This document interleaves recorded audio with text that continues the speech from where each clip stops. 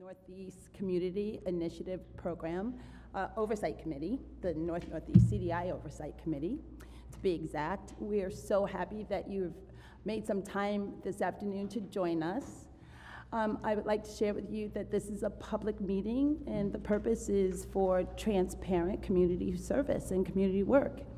Um, we would like to have your input, but we ask that you save all of your questions and comments to the end of the meeting, at which time you will have the floor and be able to share as you will. Uh, with that, um, again, welcome, and we will start by introducing uh, the committee to everyone. Kim, would you like to begin? Hi, uh, I'm Kim Moreland, and I'm, I work with Prosper Portland, and I uh, support the North Northeast CDI Oversight Committee. Hi, everyone. My name is Oscar Arana. I work at the Native American Youth and Family Center, and I'm a committee member. I'm Dorsey Johnson with the Multnomah County Committee Member. Gwen Thompson, uh, chair, co-chair. Uh, Morris Drummond, co-chair. All right, that's everyone. And Oh, great. Uh, Tori Campbell, Prosper Portland. I currently manage our entrepreneurship, community economic development teams. Yes. Round of applause. New job, congratulations. Yep, I'll be stepping into a new role here in a couple of weeks Yeah. as Director of Economic deserved. Development, so thank you. You can go right here. Okay. Yeah.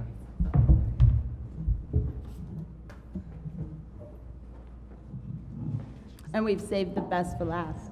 Jen, you want to introduce yourself? Hi, Jennifer Huang, committee member. Awesome. Do we have quorum? Smith Corp.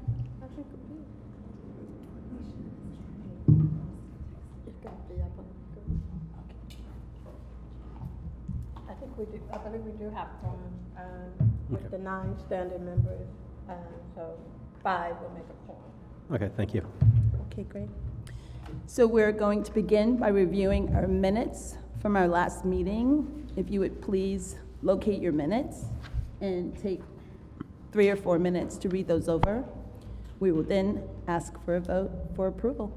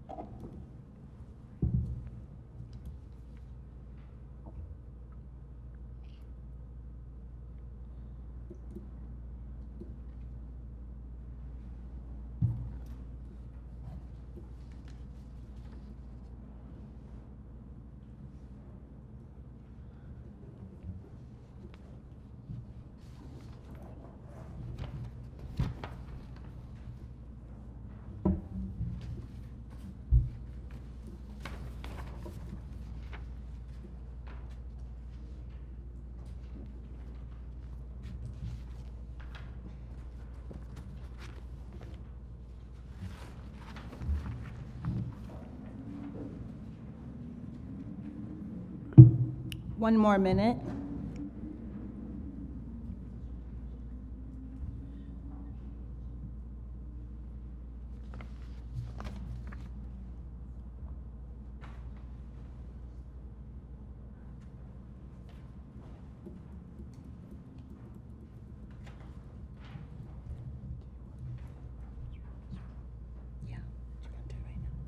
Yeah, I can do it. Okay, we'll be looking for someone to make a motion to approve the minutes. Oh, sorry.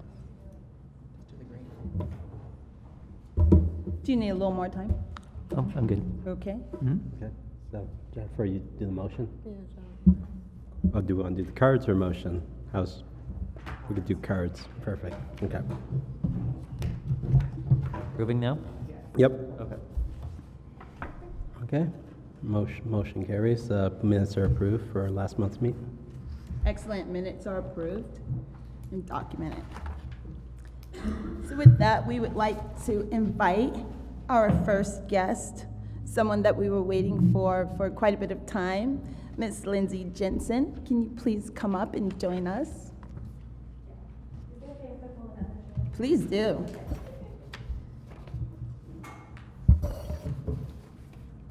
We're so happy you can make it, Lindsay, since uh, you were not able to at our last meeting. So thank you for being here. Yes, thank you so much for rescheduling and being flexible. I really appreciate it. You're welcome. Um, so just to introduce myself again, I'm Lindsay Jensen. I'm the director of the Center for Opportunity in North Portland, and I'm Babs Adamski. I'm the manager for business development and small business support at the Center for Opportunity. Cool. And I printed copies of our presentation. It's also up on the screen. Um, I just wanted to start by saying, why are we here tonight? Um, so, first and foremost, the Center for Opportunity is part of the NPI or Neighborhood Prosperity Network um, funded through Prosper Portland. Um, and what's also unique about us is we are part of the Interstate Urban Renewal Area. And so I thought it was really important that we came together um, and you know, started talking more and, and working to collaborate. So we're really excited to be here tonight just to introduce the Center for Opportunity and talk about potential ways to collaborate. So I don't think this is the only time we'll get to talk with you all. I hope not. Um, so I'm looking forward to future conversations. Um, and specifically, we want to talk about ways um, to strengthen our workforce programming in the interstate urban renewal area um, and to find ways to better serve businesses owned by people of color in the interstate or in our section of the interstate urban renewal area. So that's why we're here. And to just give a quick overview of the Center for Opportunity, um, we were founded in 2010. We were actually one of the original three Main Street organizations. Um, and we shifted away from the Main Street model in 2016, um, which is when we became the Center for Opportunity. And our mission and vision, which is on the screen, is we empower marginalized communities in the North Columbia area of Portland through community building, addressing basic needs, and people centered economic development.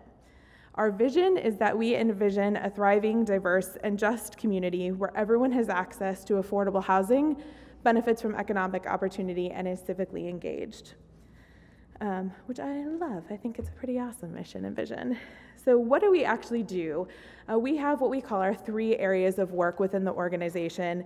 Um, and Babs will talk in just a second about our economic empowerment work, um, because I think that's really where we see a lot of energy and synergy to work with you all.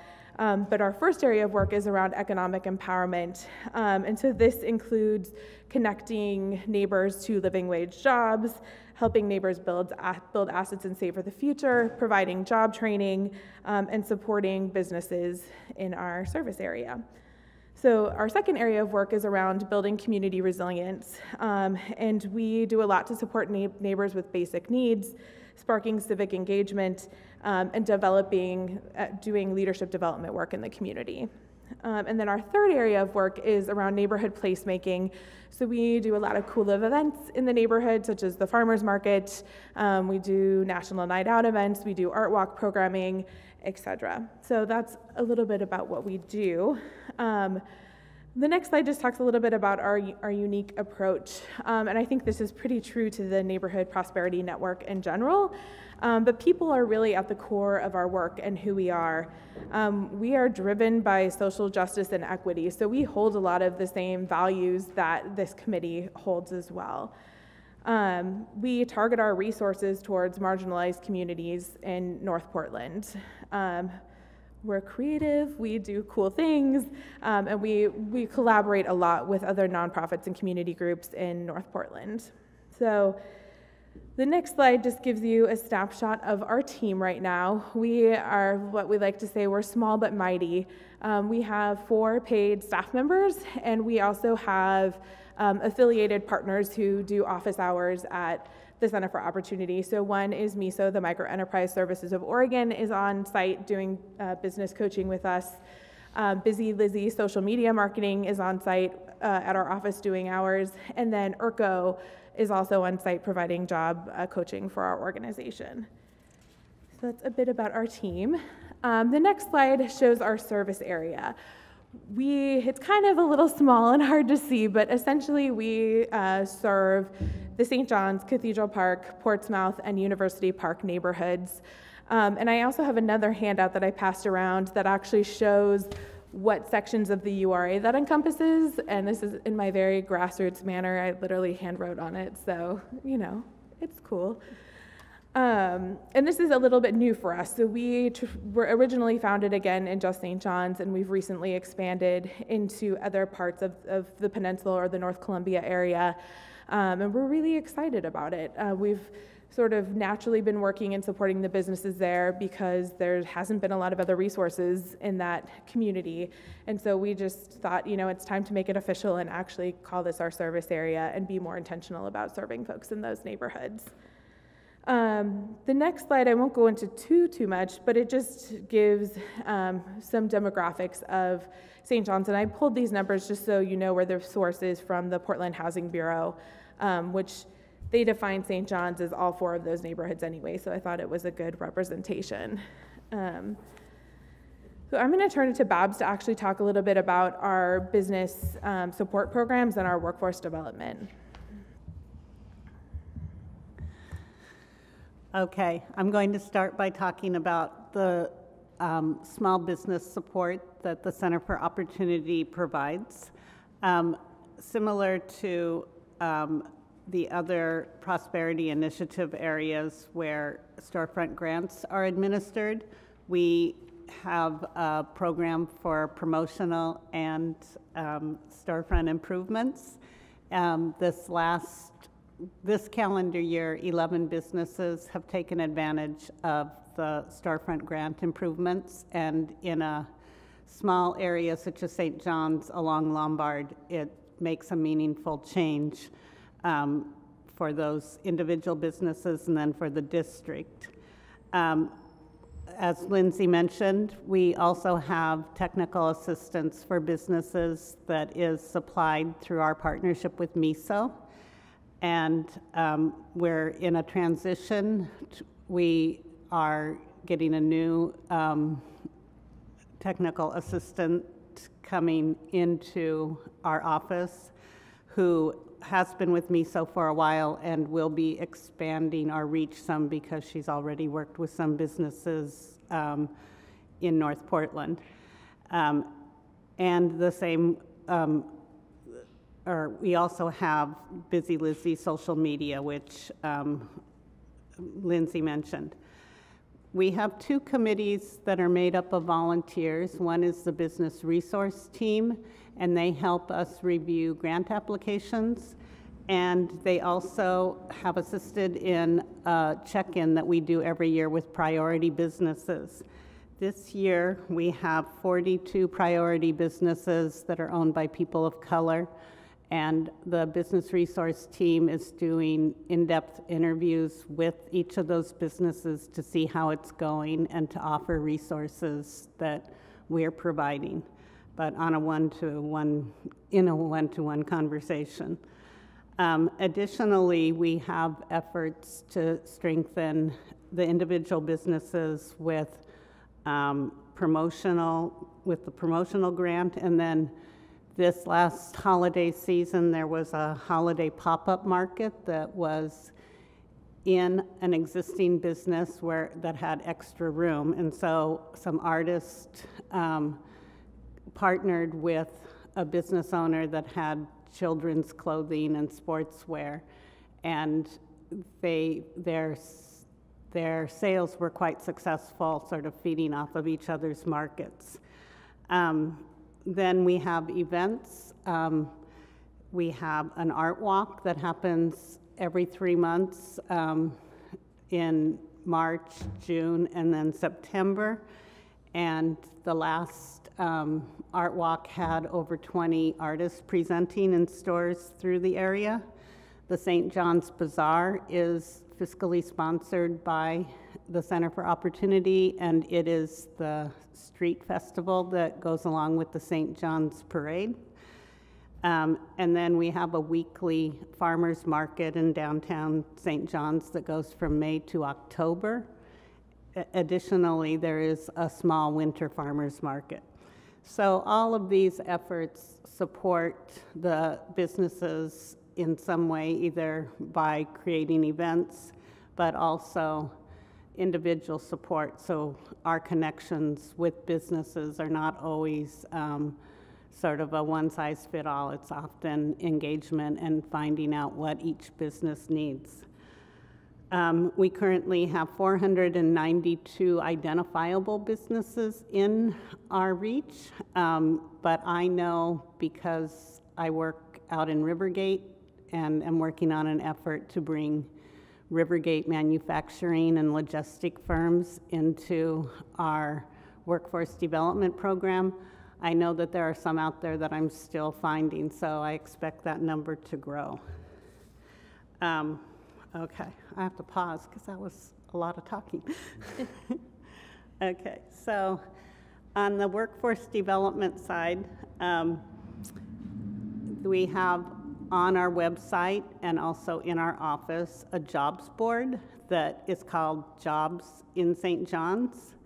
Um, it probably could be called North Portland or North Reach Jobs because um, I post jobs that go across professional lines, anything from um, an engineer to a dishwasher to um, someone working at a grocery store. And we have over 800 hits per month on our website. Um, we also offer in partnership or in our partnership with um, Barania Ramirez from IRCO today, we gave a bilingual job search workshop at the St. John's Branch Library. And then Barania um, from IRCO provides job coaching one-on-one with clients in our office, two days a week. Um, currently, the Rivergate area um, is experiencing a difficulty in filling positions. There are over 600 empty jobs in the Rivergate industrial area. And if you look at the map of the area, it is the um, spot that is on the north side near Kelly Point Park. It's between downtown St. John's and Kelly Point Park. And the issue that has been identified by human resource managers is a lack of transportation into the area. Um, we have been working on that with a group called the Rivergate Transportation Advocacy Group, and it's made up of HR managers, transportation advocates, and stakeholders from different agencies, um, including Port of Portland and PBOT um, and TriMet. And so we are nudging along improvements in service, and we are also sharing information about those jobs and encouraging people to carpool and find alternative ways of accessing the available jobs. Um, the, this summer has also been good for the young adults in our neighborhood who have been seeking work. Um, I engaged with the Summer Works program, and we were able to place over 20 Roosevelt High School students in internships in North Portland. And that was a big success. And a, additional to that, the St. John's Farmers Market has four interns this summer. So we're normalizing it for um, young adults to be working in our neighborhood. Okay. There's a lot going on. So just the, the last slide to kind of wrap up our presentation. And again, I'm hoping we can continue conversation. And, and I really, it was great. I met with Maurice and Gwen earlier and we started talking about some of these ideas for collaboration. Um, and one of the things that we came up with was doing, creating some sort of peer mentorship network uh, for businesses owned by people of color and particularly black owned businesses in our community. Um, and as St. John's grows and expands um, and uh, commercial rents get higher, there's a huge risk of displacement. And so we are very aware of that and really thinking about different strategies to support and, and sustain businesses that are in our community. And so um, I'm really interested in what that could look like um, because I think hearing from peers is really powerful. Um, the other one that we realized we don't do a ton of and we really could do more is um, helping to link um, POC led contracting businesses to opportunities in the interstate urban renewal area. Uh, really, there hasn't been a ton of development in kind of our corridor of, I mean, there's been development, but not a ton of opportunities for folks in our community. And so we're really interested in building bridges and gaps. And I see this committee as being a really awesome resource to help us do that. Um, the other idea we had kind of thrown around and talked about was seating. So, as Babs mentioned, we did a holiday pop up market last year. We had over 30 artists, most of them were people of color.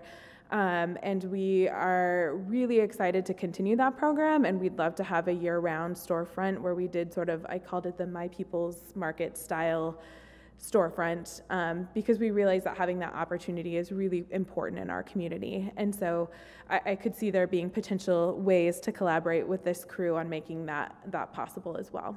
So, yeah. The next slide is just questions, ideas. so that's us. Thank you so much. What a thorough and um, heartfelt presentation. Clearly, you enjoy and care about the work that you do and the people that you serve. So, thank you for coming in and sharing that information with us. Of course. Yeah. Thank you. Questions? We typically just put our cards up. Oh. Hi, Leisha. Oscar? Hi. Um, yeah, I have a question. We we oversee uh, an NPI in the Cully neighborhood, so I'm familiar with the work that you guys are doing. And one of the things that I wish that we were connected to in Cully was the opportunity of having a larger URA to be able to even um, grow our programming and expand our services even more. So curious about the, you know, curious to know why it took this long to come and try to collaborate and try to create these partnerships? Oh, Oscar, you and me both. no, I, I am really actually truly excited about the work that's happening in Cully right now to have a community driven URA. And I think that's been a real challenge for the interstate URA, honestly, is it's been very siloed. Um, and I think for the longest time, this committee didn't even know that we existed, or members of this committee didn't know that we existed. Um, and so I think, you know, I've been trying to advocate to be here to, to build those connections. And so I'm really hoping that it can be done differently next time and be more community driven and collaborative. Um, and so that folks kind of know what's going on across the board. But yeah, I wish I had a better answer. I'd like to add to that too. Yeah. I'm really excited about um, our collaboration and, and, you know, moving forward. And um, my mind is just spinning with ideas of of ways to kind of connect to the workforce program and also connections with Roosevelt High, Roosevelt High School. And I was, you know, really looking forward. I, I'm sorry it has taken so long, but we do have a staff that works closely with um, St. John's Opportunity Center, Damien um, Crowder.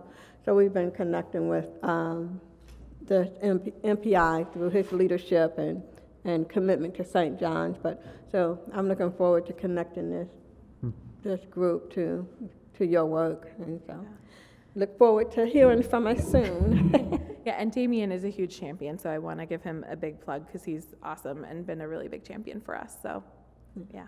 And I wonder too, have you uh, applied for the community livability grants yet? And then also, have, have you or your staff members worked with your clients or the business that you're working with to connect them to the resources in the North and Northeast Action Plan?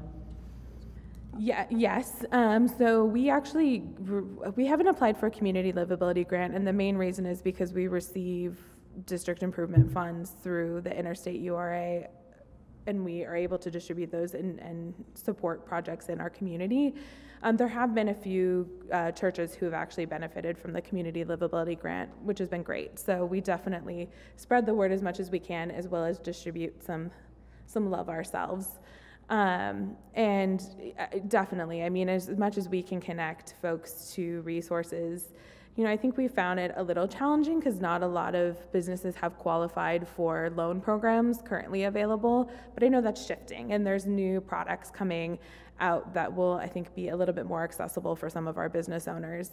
Um, but yeah, a great example is we've had a few um, Dubs is a great one. He got a big storefront improvement grant. Um, you know, through that program, we were able to connect him to that. But there's, yeah, we definitely do the best that we can with that. And I did give a loan application to two different business owners this last week for PDC, a small PDC loan, so. Oh, sorry, Prosper. I'm still there. Um, So that is on my, um, Yeah. I keep it in my file of resources and share. Yeah. Great, thanks so much. I'm, I'm impressed that you have copies of loan applications. So that's, that's pretty impressive. As soon as I found out, I was like, we need those, Damien. Great, thank you. yeah, Um, thank you. I have a question. Oh, yeah. Um, so I just wanted to get the numbers right. So Lindsay, you mentioned having supported 11 businesses in 2019. Is that right? So, Well, I actually said that. So that's storefront grants that, where they have completed their projects and Okay. um, sent in their accounting.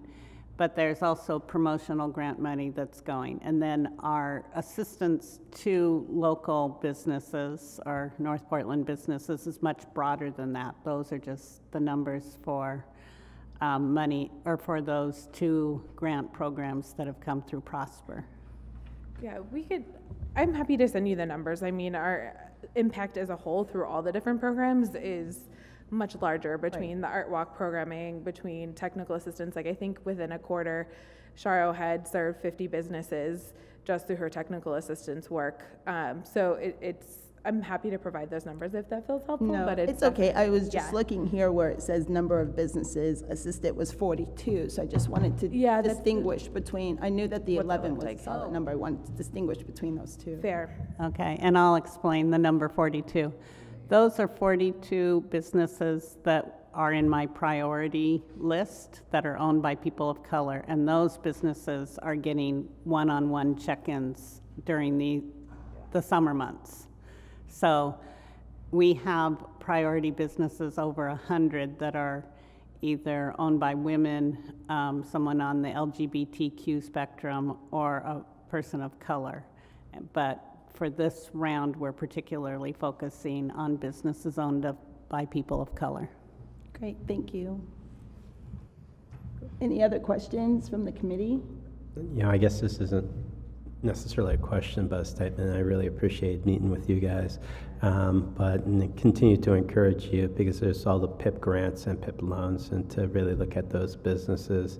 And I'd love to start seeing more of those type of applications come through the programs that we're trying to, you know, utilize. And I think you guys are doing a great job. Thanks.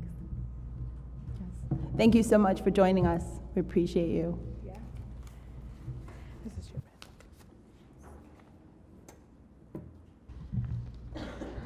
So next on our agenda, we have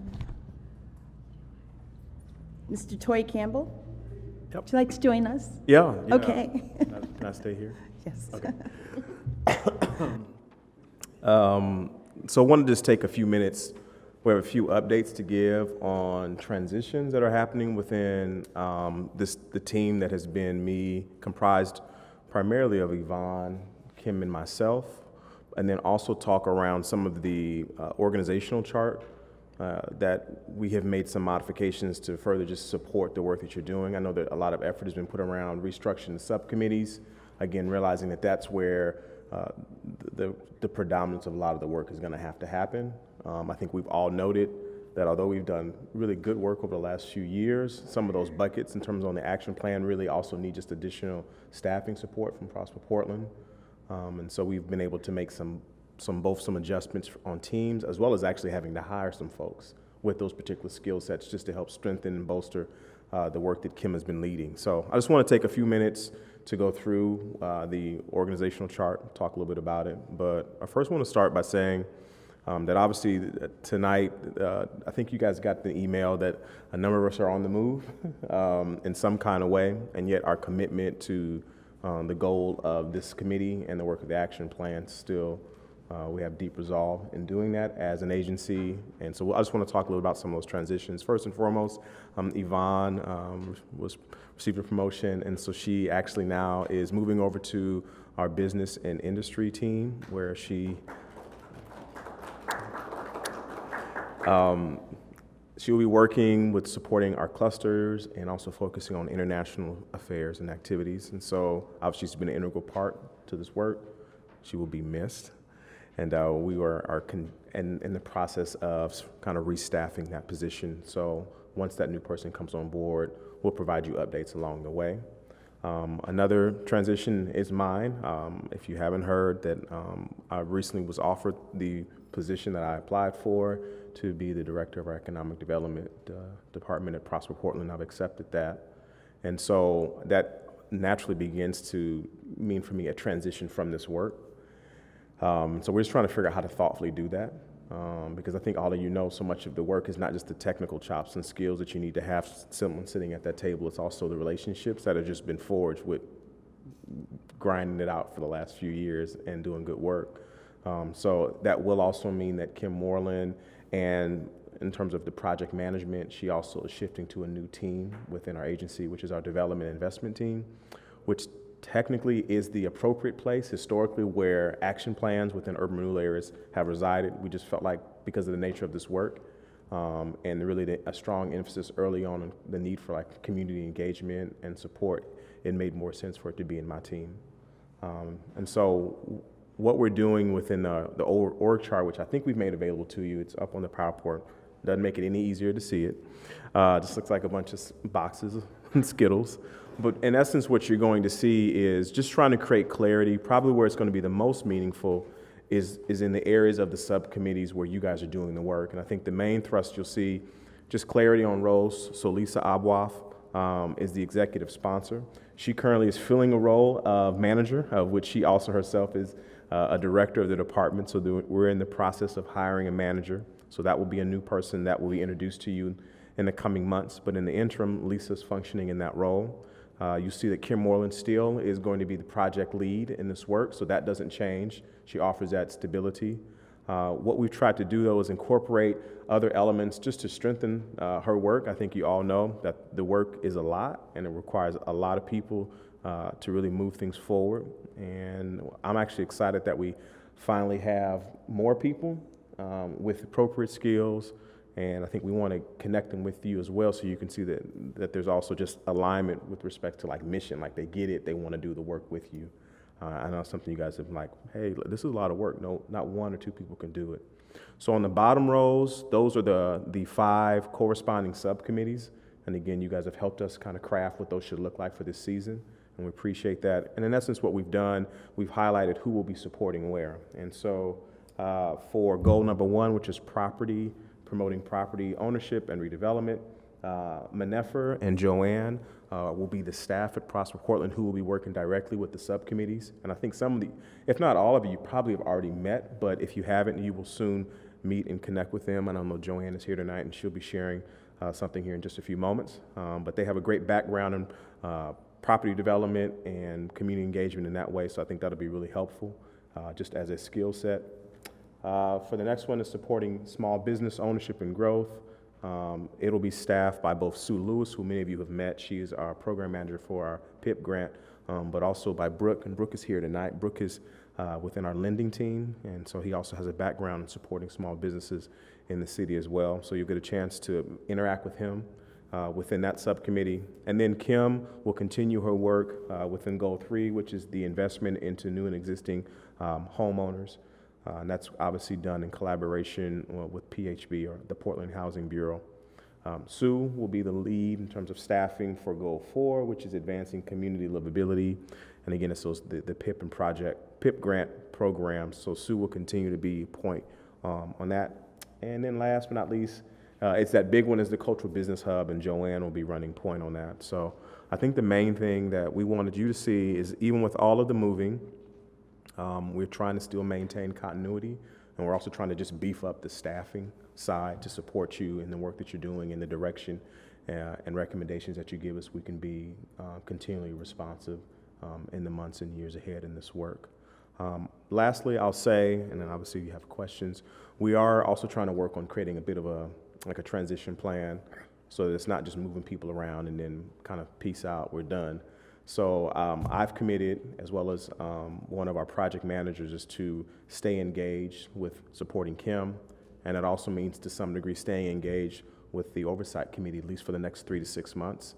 Naturally, as we go along and just my workload increases in the other areas, I'll have to taper back, but we still feel like it was important both for relationship, institutional knowledge of all that's transpired, and also a point of connection for supporting Kim as well as this team. So I'm not gone all the way and definitely don't want to. This work is too important and it's been really meaningful, but we also recognize seasons happen, change happens, and we want to just be as responsive and thoughtful in terms of making sure y'all feel like uh, we're still getting support, we're still, you know, value, and we're still being set as a priority, and that definitely is reflected in a number of ways. And one of the primary ways is do we have resources and do we have staff folks to address our questions? And we like to think with this current org chart that we um, have set up, you get yeses on all of those. Any questions at all? Thank you, Tory, first for um, taking some time to explain many of the shifts that we've witnessed happening. And in particular, thank you for your commitment and staying on. That means I don't have to ask you to do that. You've already offered. So it would be really important that you do that. I just want you to hear that from us. Um, and also, if you could have availability for us as well, that we could reach out to you by phone or email with Mhm. questions is really great. Yeah, I'm, I'm definitely down to do that. I think that, like I said, as we go along, I'll have to be more realistic, but uh, inherently, I, I want to still stay engaged to the degree in which I can. So, Great. Any questions for Tory from the committee? I just want to thank you for actually helping steer this committee and congratulate you on the expanding profile that you'll have. And like I said, I just feel appreciative that you actually helped us through this process. Thank you. Okay, with that, we are going to move to the next step on our agenda, which is Miss Joanna. Thank you, Joanna. Please come and join us. And please pronounce your last name for us. Filgueiras. Thank you. it's a hard one. Hi, good evening, everyone. I'm here to present a project that I am working on, super excited about it. Um, we have the opportunity to purchase this property in, the, um, in Swan Island. I don't know if you guys are aware, um, there was a, a URA called Willamette Industrial that has been closed back in 2014, and we we opened in 2004. The reasons we opened didn't happen, but we were able to maintain some money that we wanted to reinvest in the in the area, and that money has been there, and we we found this opportunity to invest in this property together with um, a loan from Business Oregon that is specialized for public agencies, and to create a shared manufacturing space in the area. Um, the, the property has a large kitchen that we want to create a commissary kitchen, um, hopefully doing all the businesses like 100% affordable rates for all the businesses and focusing on entrepreneurs of color. The point is that the property is currently located in the interstate URA because interstate and Willamette Industrial are bordering each other.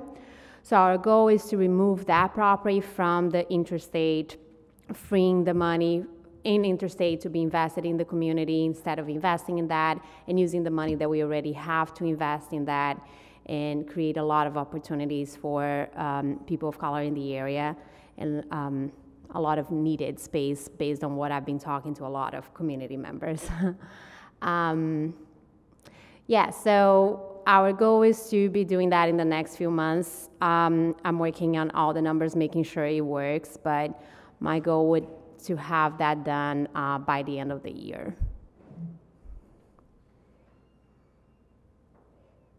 Go ahead. Questions from the committee, Maurice? You know, I guess my question would be, as far as how many businesses do you think um, can be utilized in that space? And what's kind of the vision for the space?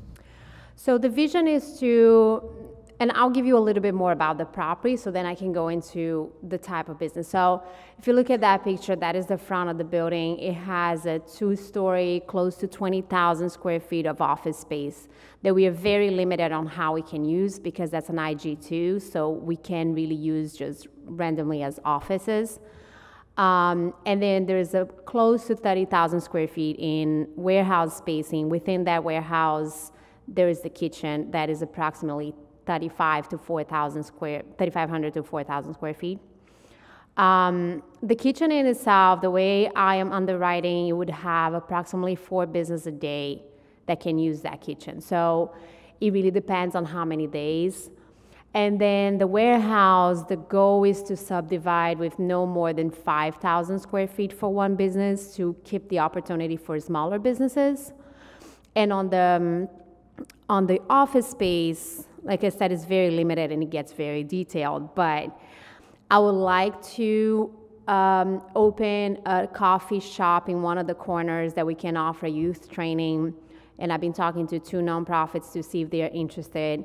So they can offer youth training as well as a space for whoever is producing uh, products in the space. They can expose and sell their products as well as uh, like a community area that people can see it and have and talk and kind of engage with each other. Um, and then the office space, um, I'm trying to find potential manufacturing businesses that don't necessarily need the warehousing space. So I spoke to someone who makes clothes and bags. So that could be something that will go there. The way I'm looking at the numbers and given the kitchen and everything, we're looking at potentially 100 businesses that can be using the space.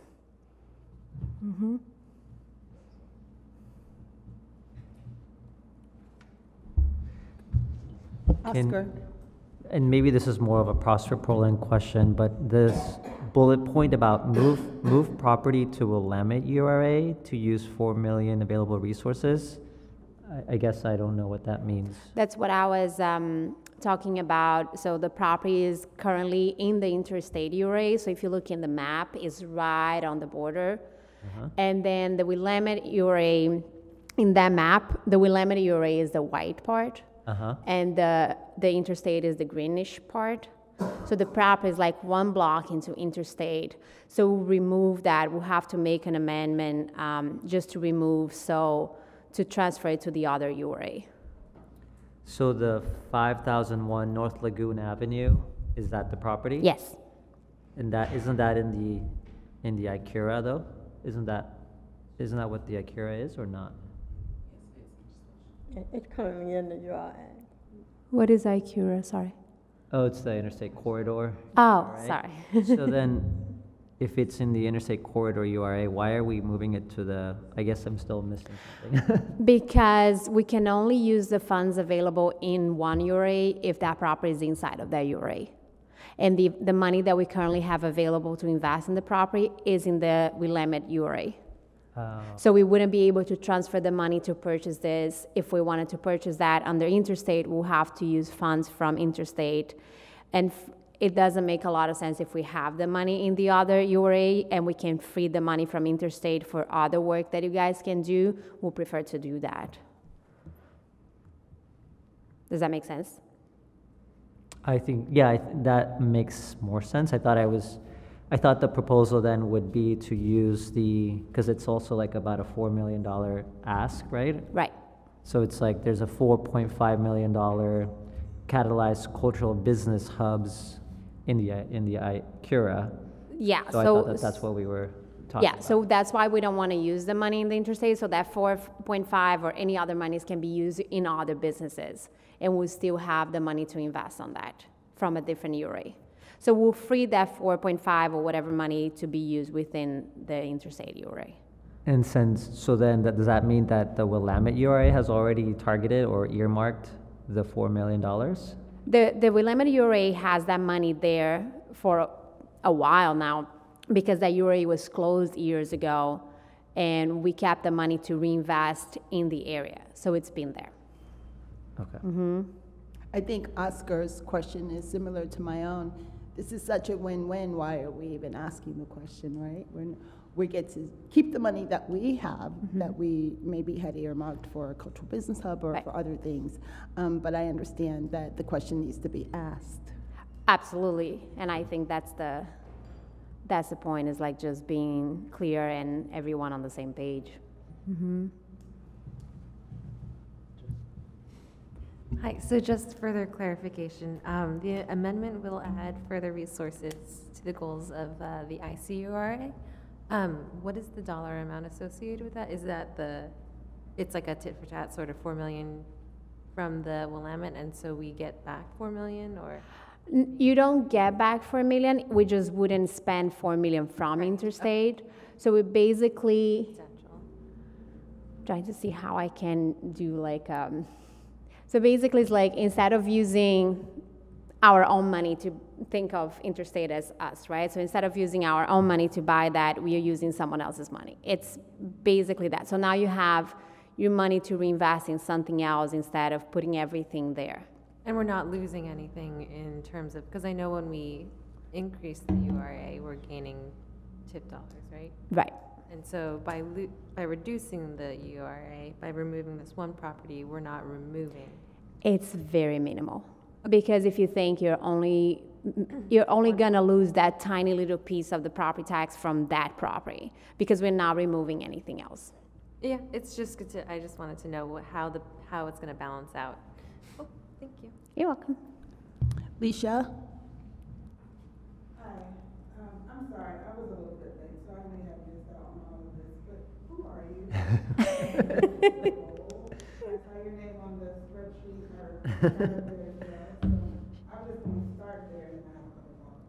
Okay, um, I'm Joanna Filgueiras. I'm a project manager with Prosper Portland. I joined Prosper about five months ago, and I'm in the development and investment team. Oh, okay. And my background is pretty much all real estate. So Joanna, thank you for that. Um, I have a couple questions around the property, um, for this. First of all, the Willamette TIF District, or URA, you said it's no longer, it was closed, and Prosper Portland kept the money. So, how does that work, do you know?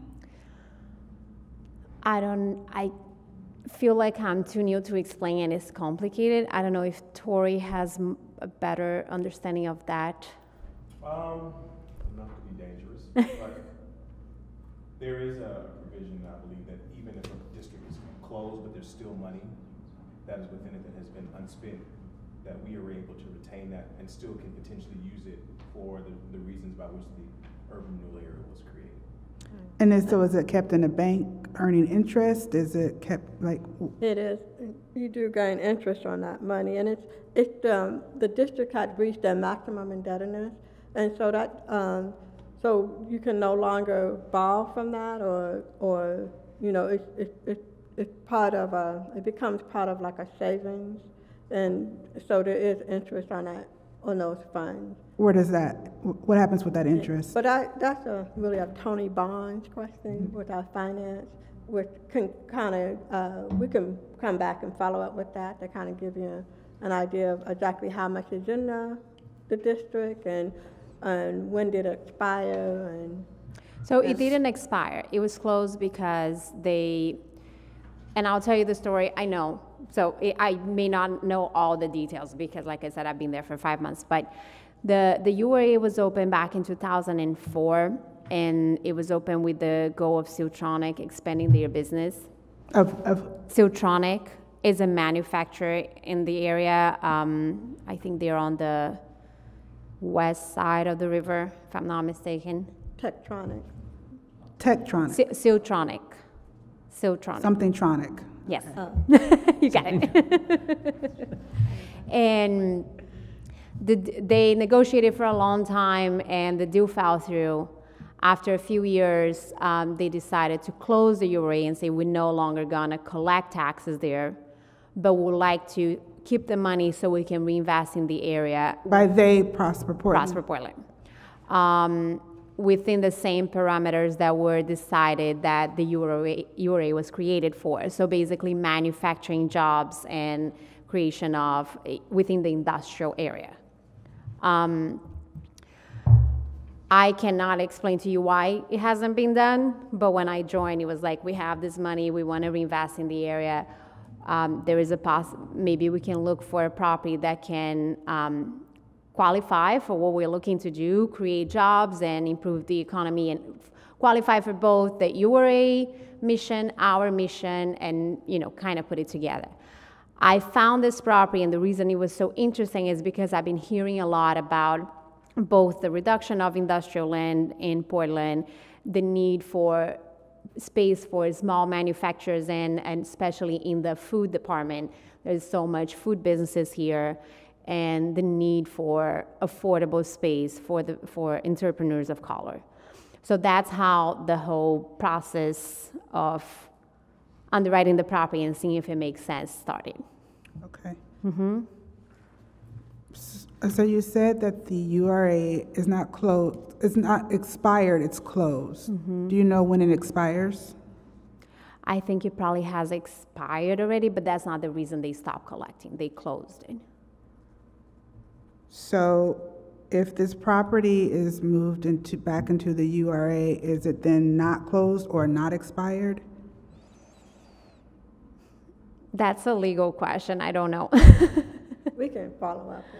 yeah, I it has been a little bit of a discussion of how that works. Okay. Um, the reason apparently we can do is because part of the legal, the legality of it is you can create minor modifications if it is less than 1% of the original acreage, and that URA was 750 something acres originally.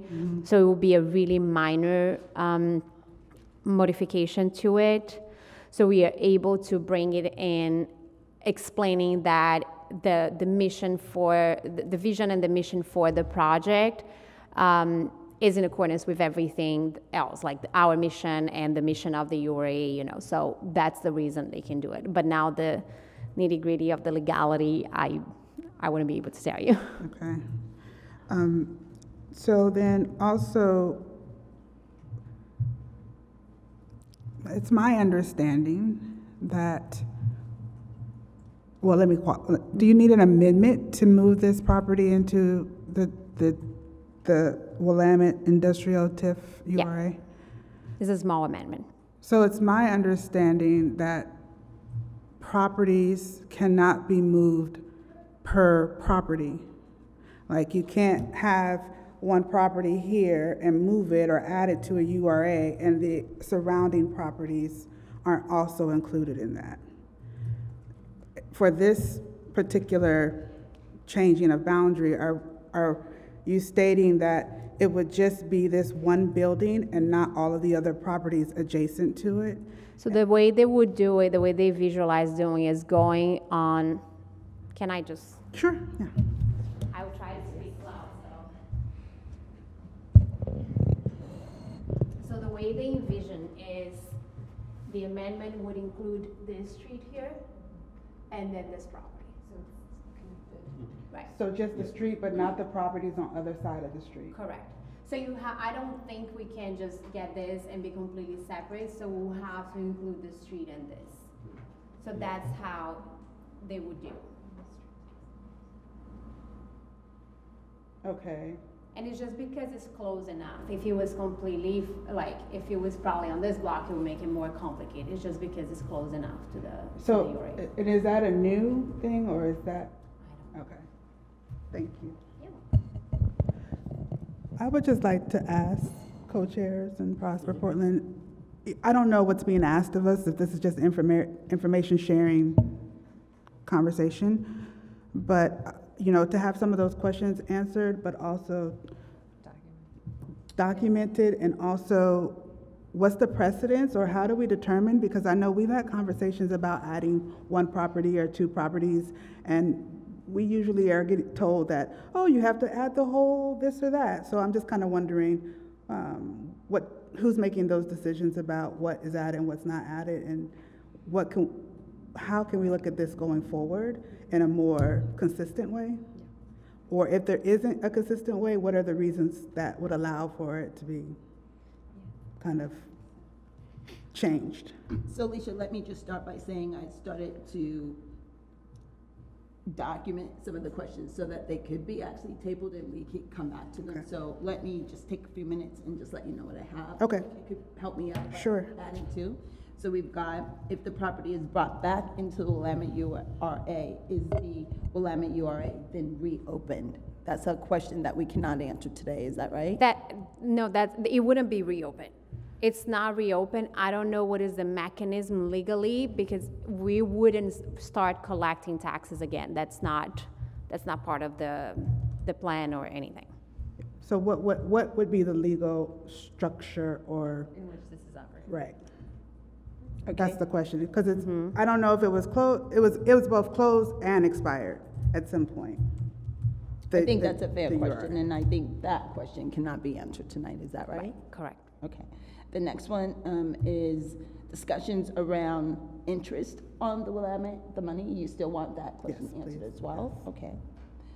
Um, And then let's move on to, so we've had some inconsistency. Ca- in Can you just repeat the question on the, uh, what exactly is the question you have on the interest? Where, how, where it's being used, where is it? How is it being used? That's my question. Well, so it just becomes part of the funds we have uh, to be reinvested in the community. So the interest that's being collected on the four million dollars that's sitting in the bank, it's just going back into a savings account that would be used back in the Willamette URA. Because we can use the money that is there, and I know the money has been generating some interest, it's definitely nothing big, but it has been. But we can use, because we can only use that money within the criterias that. Yeah, no, I within the rate. understand that. I understand it can mm-hmm. only be used in that URA. I'm just wondering, I, I was wondering how has it been, been used or where it's been going? It hasn't been used at all, and if you look at the history going back into a savings account. and if you look at the history of Willamette URA, I, as far as I understand, no money there has been used, it's been there. Yeah, I didn't even know this URA existed actually, so. And if you look at the, the Or- Portland maps today, it's not there. Yeah, so this is kind of just all kind of new stuff to Yeah. me, at least. Um, yes, so that's, that's the question, but also about in- including the U, the. Correct, this so I have it as, we've had some inconsistent reports on whether or not properties can be removed in and out of existing URAs. And how that's determined and the property surrounding it. So uh, as an example, and this will go all the way back to the beginning, when we included, uh, was Allen Temple? Uh, And Dean, yeah, and Dean's Beauty Supply. So Allen Temple is a great example where they were a block or two, I believe, off of the urban area. So they, I think the phrase is a cherry stem, which is going down the middle of the street in order to secure that one property. So some of those do exist. I want to say, um, I wouldn't say Alberta. I think at one point they were also in the same way. Um, that district wasn't historically in the urban renewal area. No, So it wasn't. There, there is precedent of doing it down the street so you don't trigger everything along the way in order to secure a particular property. So there's precedent for that, but I think the other point of your question is, how is that determined? Right. That particular property as opposed to something else? Right, yeah. I want to piggyback on that. Um, I think we could all recall Leslie discussing the property in Northeast where the goats were. I think the, yeah, the wall. Right. Yeah, yep. I always think of it as where the goats are. Um, Wasn't she looking for a similar? Similar thing. yeah. Action. In order to secure that property, they would go down the middle of the street so that they would not trigger any other homes Right. potentially being impacted by. it. What's the status of that? I believe they're moving forward on that if they haven't already, uh, but we can, we can confirm. Confirm that. Yeah, please, please confirm, and please confirm how they got authority to do it. Because I know that we didn't vote on it. Right, it was the Portland Housing Committee. Okay. uh, They, that was within their preview to make a decision. Got it. So it. based on their recommendation, they were able to move forward to include that property uh, And so- into the urban renewal area for housing-related purposes solely. Got it. And is, and is it because this one is manufacturing that they're coming to this committee? Correct. Is that right? Yep. Okay. And, and just to make it clear too, um, the amendment would, would only go through if we are in fact purchasing the, the property. We're not interested in just creating the amendment and taking it out. So we are still in the process of underwriting. Um, I'm hoping to make an offer in August. So we'll have the due diligence time and, and the board has to approve the final, um, the, the final terms of the offer and the, the final agreement, pretty much the contract that we, of purchase has to be approved. And we would, we would present to our board both together. We want to purchase this property because of those reasons. They are in accordance with the, the goals of the URA. Therefore, we need to remove the property from interstate and put into, into Willamette. So we, we wouldn't do it before. How does this move impact the, Willam- the businesses and the property in the Willamette URA, if at all? I don't think they would. So most uh, businesses there, they're the very large manufacturers there. Like you have Daimler right across the street. Um, the property has been on the market for a while. One of the reasons that is not as um, um, one of the reasons a lot of the manufacturers are not as interested is because their bays are not very high. So The what? the bays for the, the warehouse, the ceilings, is not very high. So for the very big manufacturers, they Daimler has looked at it. They are not interested because of that, you know, the cost. And for us, as we're focusing on smaller manufacturers and creating that space, um, it would work just fine. So, so that last question would be, is this just a presentation, or are we, are we being asked to do something? We're not explaining anything. Yeah, it's just an informational presentation. So, and, and I just want some clarity. From my understanding, this is um, to inform this committee, but this is one of those decisions that isn't being made by this committee. Is that correct? Correct. Um, we could, we could ask for the clarifications, but at the end, this is going to the Prosper Board, and they'll make the final decision. I think one of the things that they're trying to bring up is that this is a win for potentially 100 small businesses, hopefully people of color, and that the, um, it also is not asking us to participate and give any of the money that we're in charge of to fund this venture. Yep. Correct. Jennifer? So uh, I just wanted to mention that a, a couple of years ago, or maybe one year ago, we were given a presentation, um, which Joanna, I don't think you were there, and I, I also don't think you were there either, um, that describes kind of the limitations and the, the constructs in which we can add and remove um, uh, properties from the URA.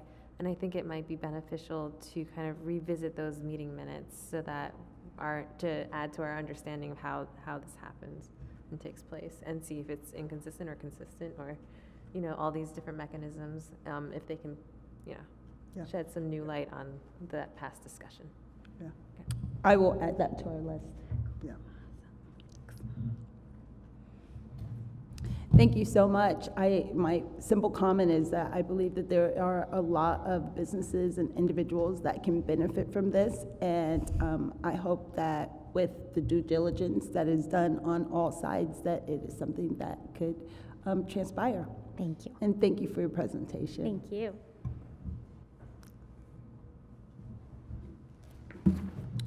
Okay, next on our list is our subcommittee report outs. And we're going to start with proper, property ownership and redevelopment from Maurice. Okay. Sorry, so uh, we had, we had our meeting, um, and we, we kind of discussed, um, yeah, there's not a whole lot of movement there, but um, looking at some of the stuff that we talked about before, which is casting a bigger net and engaging um, our navigators more into the work that um, we're planning on doing. So um, there's not necessarily a whole lot, and correct me if I'm wrong, Kimberly, there's not a whole lot to report out on that issue, other than that we're looking at how to connect more businesses and more people into this work and not, there seems to be similar groups going to get the same types of resources from Prosper. So we really want to expand that into a, a wider net.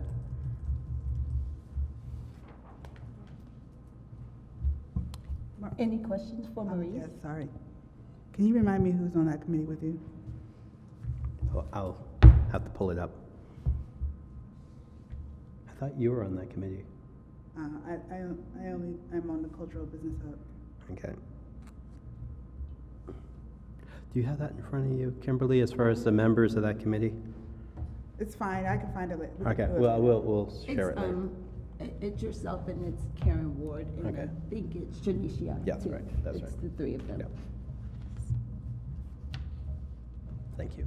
You're very welcome. Um, Next committee report out is the Business Ownership and Growth Committee report out, and I will be doing that one. Let's find my notes here.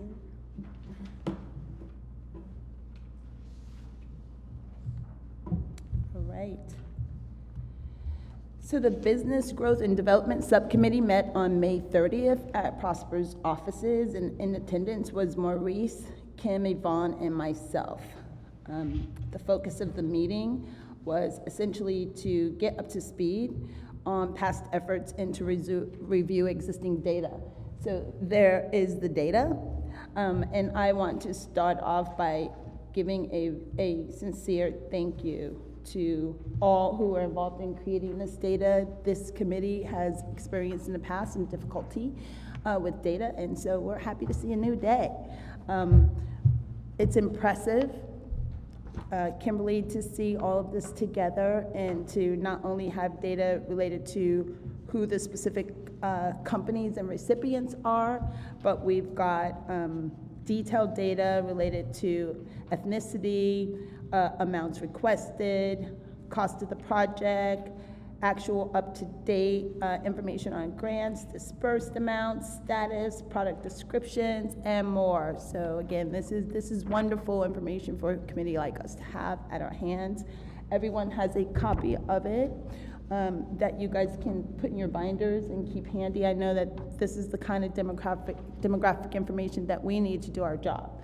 And so I just want to validate that to say that we have it um, related to the actual growth and um, development subcommittee, our goals for the discussion in the meeting were that we wanted to um, look at where the funds are not being deployed. So we can see that there are gaps here. There are businesses who probably applied, uh, were approved, and then the, the money was not dispersed. So we wanted to kind of understand what happened so that we can become knowledgeable um, and just learn from any lessons that are available, how we might be able to assist applicants if there are bridges that we can actually uh, cover so that people can move forward. So there was dialogue surrounding that.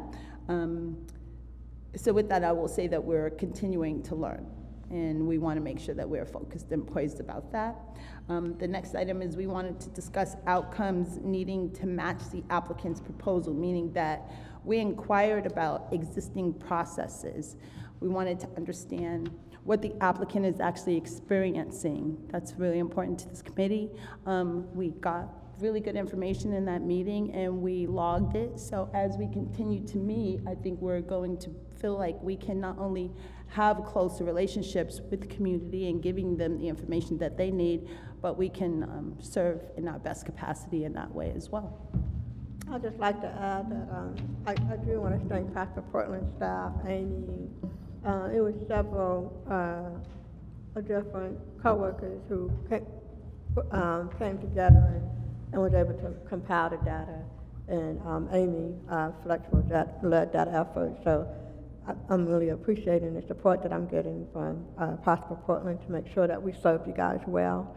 And also, I, I do want to say that um, it was really a great dialogue, and um, Sue Lewis um, really uh, helped to kind of, as we begin to really think about how we can better serve our clients and what are some of the, the reasons that some of our programs are being stalled. And, and we also talked about, I don't know if it was this meeting, but maybe having a survey to ask, what is your experience?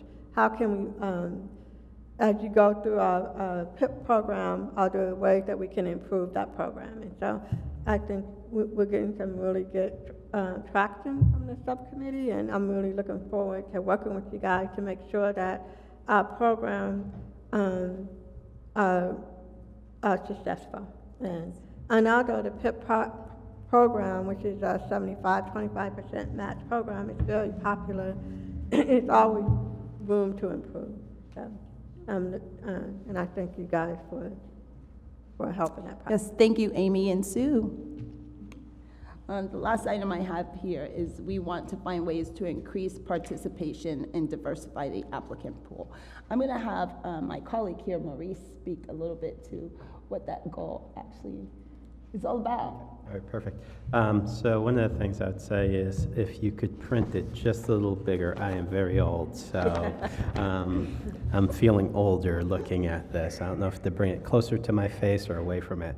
Um, but you know, I think that there's there's a few things, and one of the things I noticed on this that there are some applicants that really, uh, you know, really applied for the maximum amount, and others that really did not. And so it's kind of again that um, communication back to see why some of the ones I I think are probably the most needy and that they actually ask for the least as well.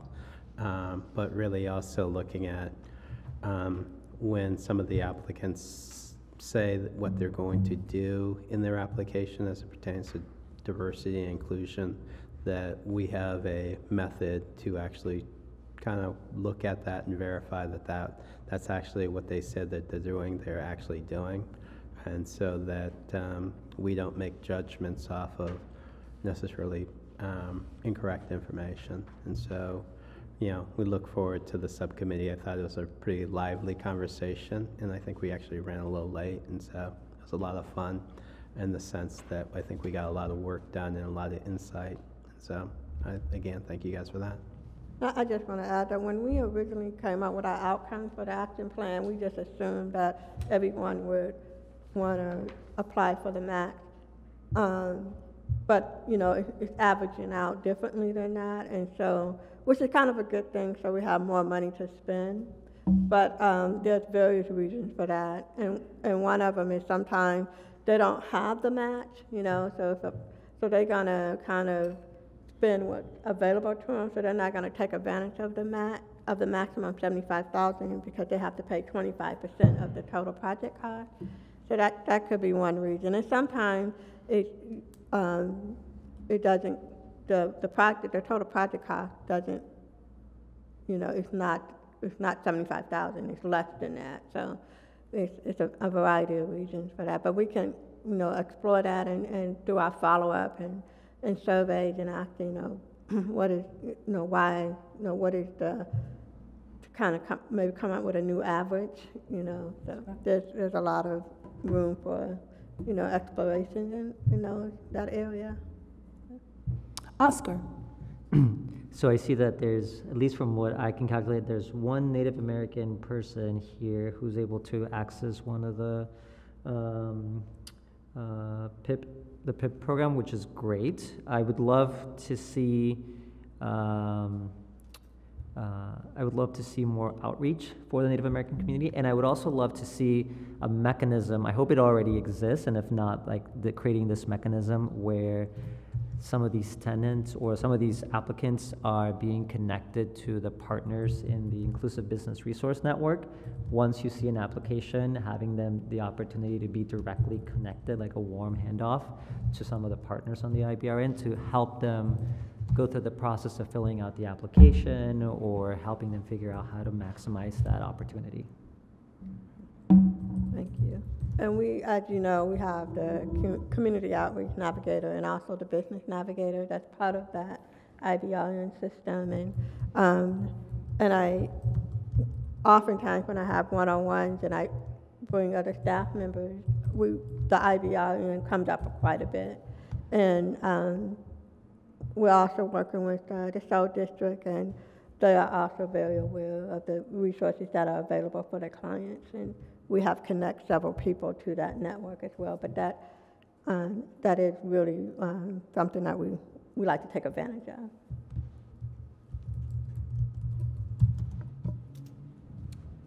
Awesome. All right, let's move on to our next subcommittee. Uh, That would be homeownership, and Maurice, you're up.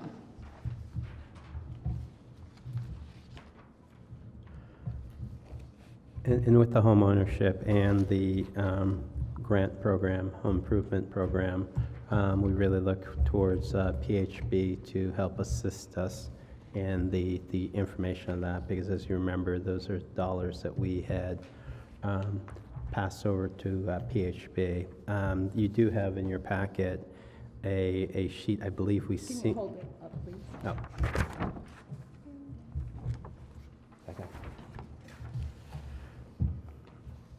And I, I believe this is um, unchanged with the exception of the ones that are highlighted in yellow, is that Yes. correct?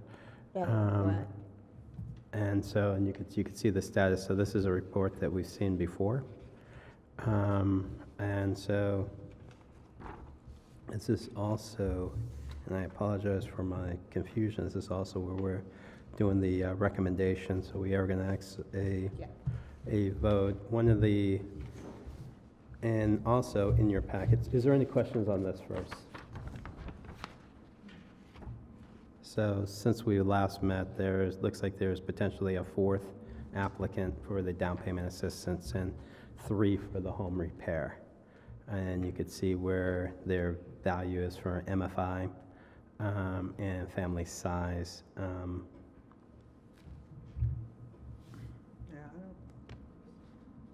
So why is the line number four blank across? Because the, the data hasn't been given to us yet. Oh, just so we- saying that they we- applied. We are waiting for the data from uh, PHB, but they, s- they have someone in the pipeline. They just haven't provided us with the information as of yet. And so everybody is awarded the same amount, no matter what? And so that was one of the, one of the discussions that we had, because we, we were, we know every home's a different price, and if we're looking at down payment assistance, then we're saying, well, everyone's not gonna have the same down payment. And so we were thinking, but the hundred thousand is the max. And so, um, we believe is probably just being maxed out. But again, this is, this is an area where we look for PHB to help inform us on. Um, So, um, go ahead. So then the committed amount means that they have not purchased the home yet, so they're, so, I believe on the first three applications, the homes have been purchased and those have been approved and executed, although, Um, it, it's part of the down payment assistance loan Mm-hmm. program, so that down payment goes towards the purchase of the home, so. yeah. So it is committed then? Yeah, it's, these, these are committed dollars right on this, this section right here where it says awarded amount. okay. And on the back is the dispersed amount, so that, that shows you the actual dollars that have been spent to date. The other form that's in you guys' packet is this right here, and this is actually asking for a vote. And it's pertaining to the ADU. Um, I'll let everyone get it first.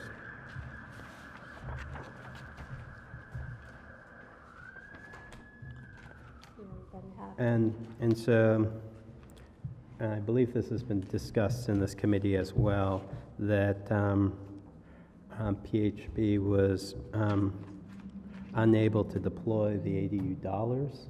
Um, And so, in the committee, uh, we had discussed taking those ADU dollars back and bringing it back to this committee and having us look at creating a program or looking at the redeployment of those, those funds.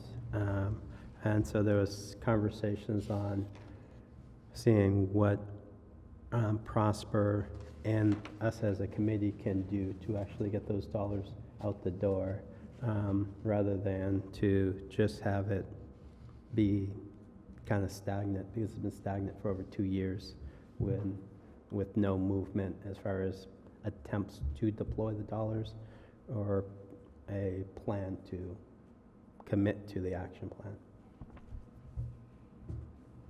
I'll take questions. Go ahead. It's- Okay.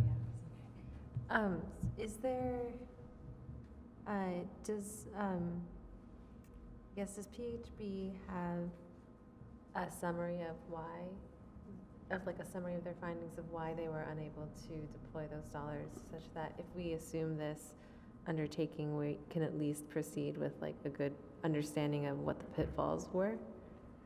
Or what the roadblocks were, or, you know? So PHB hasn't, and maybe Kimberly hasn't articulated the why to the subcommittee, and I believe in the number of times that they've been here, um, they haven't really um, said the why. I think the we have had conversations um, within our subcommittee about the ways in which we feel potentially those dollars can be deployed for ADUs. Um, so we, we're kind of caught in a little bit of a limbo because PH PHB hasn't said why they can't deploy the dollars. Um, but then they haven't really moved, they haven't given us anything of a process of how they even attempted to deploy the dollars. And I think that is one of the reasons why I think our subcommittee decided we want to get these dollars out the door. So bringing it back to us is paramount. Um, Oscar and then Tory. Um, I, I'm fine with the recommendation. The only thing I would say that the recommended action stops at request PHB return 1.8 million for ADU construction back to Prosper Portland. I would make sure that it's, the, the recommended action is to back to Prosper Portland's North, Northeast Community Development Initiative Oversight Committee. Okay. So I just want to make sure that it doesn't go back to like a Prosper Okay, Portland. no, in a general fund, and, uh, so, I, and I look to Prosper to make that friendly amendment, can we put that, in? okay? So, um, we're, ex- we're going to accept that amendment, uh, go ahead, Tory. Tory? I would say yes, we can do that. Okay. Um, I think also f- to further on that point, Oscar, it would also be important to capture here that the, that the expectation is that we would also evaluate, this committee needs to evaluate where those dollars should be reallocated within the, mm-hmm. the overall action plan. So mm-hmm. just to like, you know, it's mm-hmm. not just coming back, but it's, that next step is having a fresh conversation of where should those dollars go. And I think Maurice is recommending that the one point eight million goes into an ADU program that's sponsored by Prosper Portland. Great. But that's not what this vote is. Yes, Yes, it is, actually.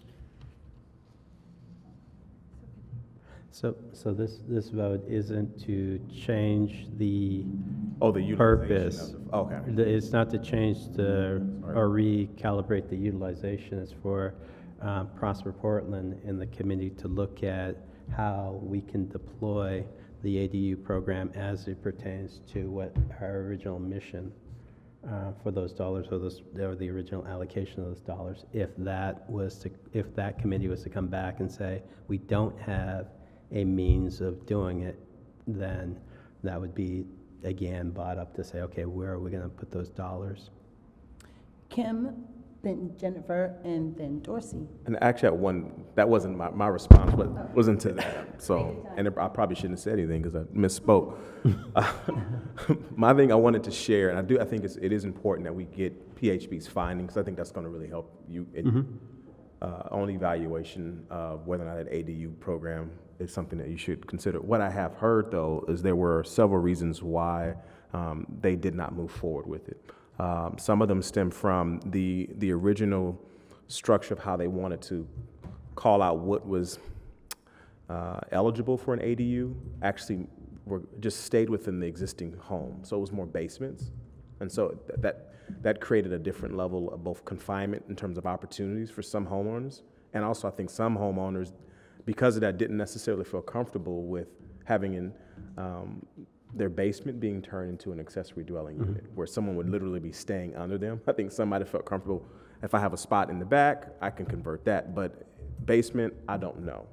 So I think that was one thing, is just that it was confined to basements as an initial starting point. Also, too, I think there was also um, concern that it triggers for a potential property owner a variety of new roles that they have to function in. And there was, at that point, there hasn't been anything developed that would help them in terms of just being a landlord, the, the, the tenanting process, you know, the, all that goes into being that. So I think until those things were put in place, they didn't feel like moving forward as well. So those are just two that I remember in conversations that I heard, but I think it would be well of them, and PHB can for sure be able to provide all the detailed information as to why they chose not to move forward. And, and one of the things that the, uh, our subcommittee actually did talk about a bit was just that as far as if it's a basement or whether it's a, a garage that gets converted into an ADU or whether or not the lot size can fit a new building, whether or not there's some other mechanisms that could also help support the ADU, whether it's, uh, and I know that there's limited energy trust dollars and dollars associated with these types of programs, but also looking at different alignment structures and how we can align things that are current to actually have a multiplying effect on the capital investment.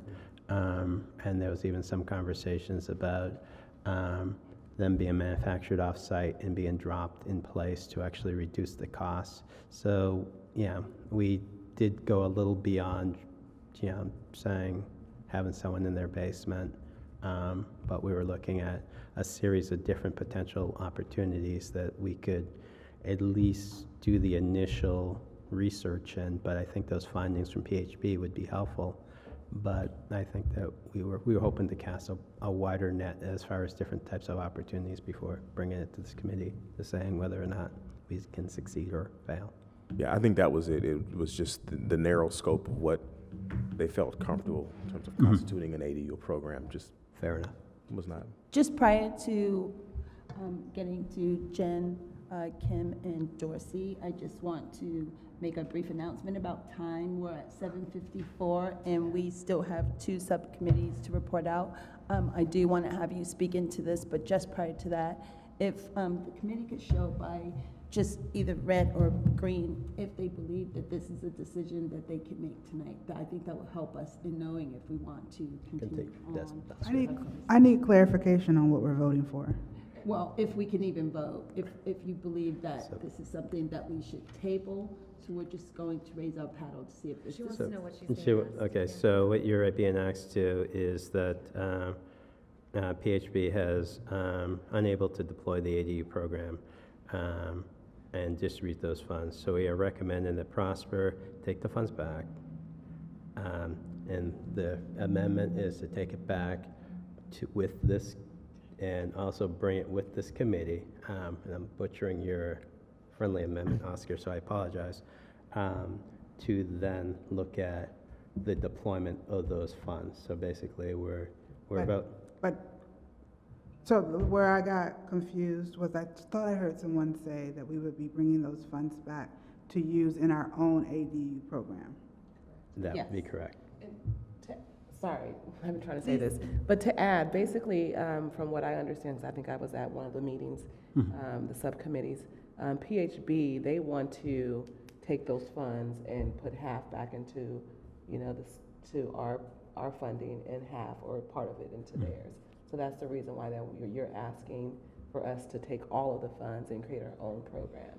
I think that's something that needs to be made clear. Is that But- correct? T- But is, am I, are you saying that the only way we get the funds back is if we create a similar ADU program? No, I w- and so we could say, if you would like, we could say we pull the funds back. What I was saying is that in our charter, those funds were allocated towards an ADU program, so we should be really kind of following that to see if we can deploy them. We might run into the same, hopefully quicker results than PHB and say, we might come back, that committee might come back and, you know, uh, next month and say, we've looked at it, we cannot deploy an ADU program, therefore, we want to use those funds for what we want to use them for, not necessarily, um, and if we end up giving it some back to PHB, we give it back to PHB. If we say that we're going to use them all for a different program, then that committee has that ability to do that.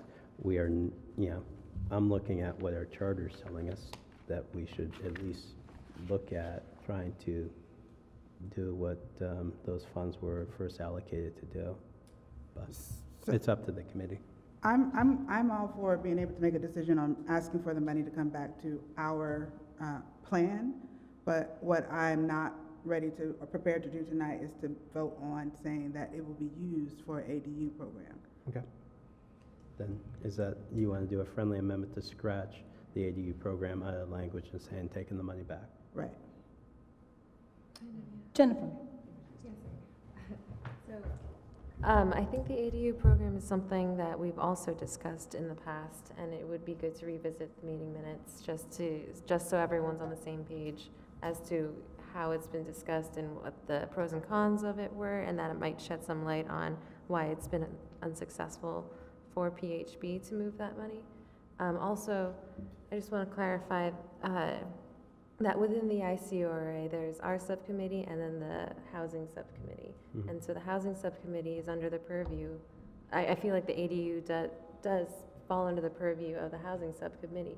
And so if they, they then determined, made the determination that they, under the purview of, you know, supporting housing, um, within the ICURA could not move the funds, then I don't see why, how us in our purview of supporting small businesses would then really, um, it just blurs the lines a little bit, and I would need clarification on how, how that, like, we pick and choose what goes where and what committee is responsible for what information, I guess, is, um, something I would like to hear more about. Well, if I'm understanding correctly, um, the ADU program is, is, is a Prosper Portland. It's part of this initiative. It's part of the middle income housing, new and existing, um, housing policy. And so, um, and they have already decided that ADU is not something that they want to move forward with. And, um, Leslie Goodlow, um, some time ago did explain to us why, um, those, they decided not to move forward with the, the program. Um, and she was supposed to be here tonight, and she could have, you know, explained more about why. Um, but I do think we should put a pause on this until we hear from um, the Portland Housing Bureau. I was hoping that she would, um, that there'd be a written document that you guys could, could read, but she um, was not feeling very well, and so she wasn't able to um, create the document that we talked about. And, and also, she does, she does have a proposal to put half to a- the down payment assistance loan program so that you can um, increase the outcome of the homeowners. And then um, put another, and put the other half back into this initiative. Um, So it would be a good opportunity to, to hear the alternative proposal, um, if we put a, a pause on this, um, tonight. And, um, so I think it's, you know, uh, I would just recommend that, um, that you wait until you have more data. Is that what this committee wants? I just want more information, yeah. I, I, I feel like we're all confident in saying we want the money back, but I don't under, it doesn't make sense for me to say we're bringing it back in the ADU. It's a subcommittee, talks about whether or not the ADU program works, and then we decide, So- So, so, and I agree with you, I would second your um, friendly amendment to say, bring the money back and leave the ADU language off of the recommendation. And so, I'm willing. Do willing. you want to make a motion? Uh, Yeah, I can make the motion to uh, strike the language on ADU, um, Is that but, possible? what's that? Is that possible? Yeah, Yes, I wrote it. possible. Well, I, don't- I just didn't know like what the Fair enough, terms yeah. for, of the PHB seceding the Okay. one point eight Is- was, yeah. Yeah. it is possible, as long as you remember that this is a preliminary recommendation, So, yes. and Lee- Kimberly Branam has the final. Yeah, yeah. so when, when, so was she waiting on us to make this recommendation? Because the notes, I feel like we, we were asking for information from the last meeting by reading the notes. Mhm. So was Prosper Portland waiting for us to make a recommendation to respond to the questions we had in our last meeting notes? So it says, Maurice asked if there was a deadline for which PHB plans to report back on the ADU program. If the dollars are to be deployed, the committee needs to know whether the program is viable or if they should be redirected. Then there's a whole list of bullet points under there, so I was just wondering, did we hear back from Prosper, or or, were they waiting? or the for us? Portland Housing Bureau. We have not, that's what I was explaining earlier, that um, we were una- unable to get the information. Leslie was, was gonna come tonight, but she was, wasn't able to. But we were also waiting on Prospers to answer questions too. So that's fine if we don't have the answers. I, maybe you were waiting on us to make this recommendation. I just wanted to know if any of this had been resolved. And I, I, I didn't go to the subcommittee meeting, so I don't know. if Yeah, that- no. So could we, could we ask, pose the question? Would the funds come back to the CDI or be held by PHB for other purposes? And it sounds like, The fund, if you guys decide not to, to, to reallocate the funds, it will go, go back to the North Northeast CDI initiative. So it would go back as part of the, um, initiative, and then we can de- decide at the oversight group what your recommendation is to, to use those funds. So, So so do we have a before. motion? Yeah, on the so, we- table? so, so we, so we, yeah, like you, I was just gonna do it. So, so, so we have a motion to, um, take the money back, uh, scorch, or scratching the language on the ADU. Uh, do we have a second on that motion? I second. Okay, um, Motion passed. wait, we gotta actually take the vote. Um, so, all in favor of taking? Taking the money back. taking the money back. Raise your greens. Okay, now you're, now you, um, are you abstaining or? Sorry. No. One more. Okay. I just wanted to, sorry, I just wanted to make sure that the motion was clear, so Oh, that sorry, we yeah. all left here with a clear understanding of Yeah. what would happen. Okay. We're in Um, agreement? I, in speaking for Maurice a, a bit, I will say that this issue will go back to the subcommittee for more discussion, and this committee will receive a report out from that subcommittee. okay, And but they're not please gonna attend. change the terms. Yeah, but please attend the subcommittee, because, I, I, I want to, I just want to raise a question. If it's not going back specifically, specifically to the ADU, should it be going back to the housing committee? Or should it, or should this be maybe, um, No. a special committee or, or go back to the general oversight? Um, If It- go to the general, I, I, I feel like there has to be some kind of discussion or talking, to- we, I just don't understand where the, where the decision is being made about where, if we have all of the information we need to decide where this money should go. Are we having gaps in the uh, homeownership? Are we having gaps in the property on, it, like, I think there needs to be a little bit of some understanding, and, and I don't know, I'm not on a bunch of the subcommittees, so maybe I'm missing it, but. Well, in the past, we had the investment allegation subcommittee, Right. and that's where you would make those broader decisions. So we could, you know, have a, a special committee to address those and have, you know, and, and invite, you know, members of the committee to serve on that, no more than four, because five would be a quorum. So if we can, if you want to, and, and then bring it back to the broader oversight committee? Um, I think we shouldn't make any decisions beyond the decision that we made Oh, today. oh, oh. I think the decision I thought we make, that we just made did. today is a big one. Um, and I think that the decision was to bring the money back to, Yeah, And so- I think, I think we should wait until we get the report from Leslie to hear what she has to say, and then we can come back and see if we want to do this. If we want to keep the ADU program, or if we're gonna give them half the money, and we take half the money, like, if we don't have her report, I don't know why we're making a decision on this right now. I- I- Whether bringing it in, giving, taking it back, like, Knowing what is, what's gonna happen to it. Right. exactly, we don't even know what her report is, you know what I mean, so. But we do know that they're not doing the ADU program. and s- yeah, Yes, we so- don't know why, and we don't know their proposal of what they want to do with the money instead. So, so, So- so for, just for time's sake, so we, we could always choose, the committee can always choose to have Leslie come and she says, I would like, let's say, seven hundred and fifty thousand dollars to do this. And this committee can vote to say, okay, let's give back seven hundred and fifty thousand. What we voted tonight to do is to take the money back so that we can start looking at like you had mentioned, where those weaknesses potentially are, whether or not maybe you, we can have the flexibility to look at all our different options to determine how to best deploy these funds, because right now they're not being deployed. And, um, you know, as far as for me as a committee, I feel like we've been asking this question from day one of how are these funds getting deployed. And so this is not a new topic matter. Um, This is a topic matter that's been going on for a few years now. And so I, I do agree that Leslie should come back and say what she would want to use additional funds for. And I do think that this committee should vote on that. But I feel like this has been just sitting there for a very long time.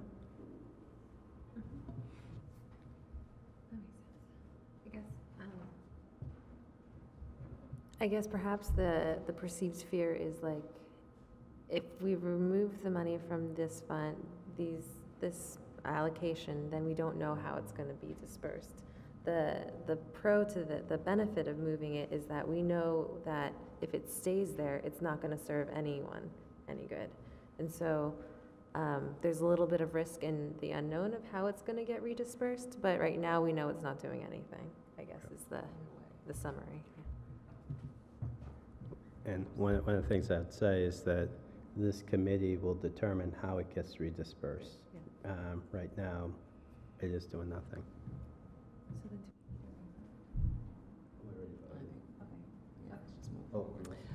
Um,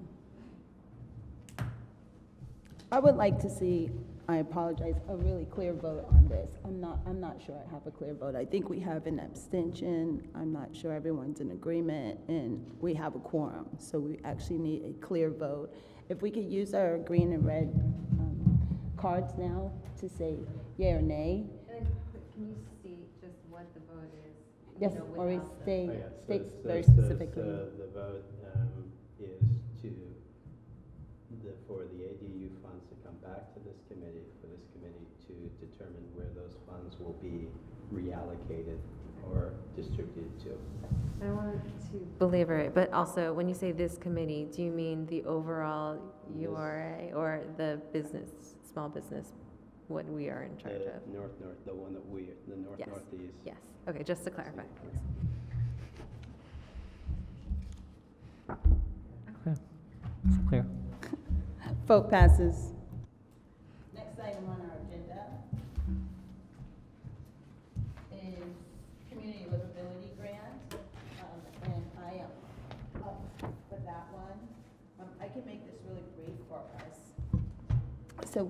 We had a, a meeting, it was a robust meeting, we got a lot of work done. In fact, we just met last week. Um, if you pull out your long sheet that looks like this. Oops. It's getting a little late in the day. Item number four is advanced community livability projects and support nonprofits. If you look four columns to your right, you will notice that the total served to date is 24, and the five-year goal is 20. So if I'm correct, we've exceeded our goal in that regards. Um, Kim has said numerous times that this is a very popular program.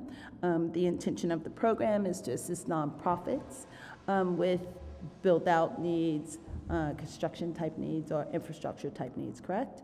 Um, the total amount awarded is two million eighty, and the amount committed is essentially one point four, uh, with the totals dispersed being five thirty-five.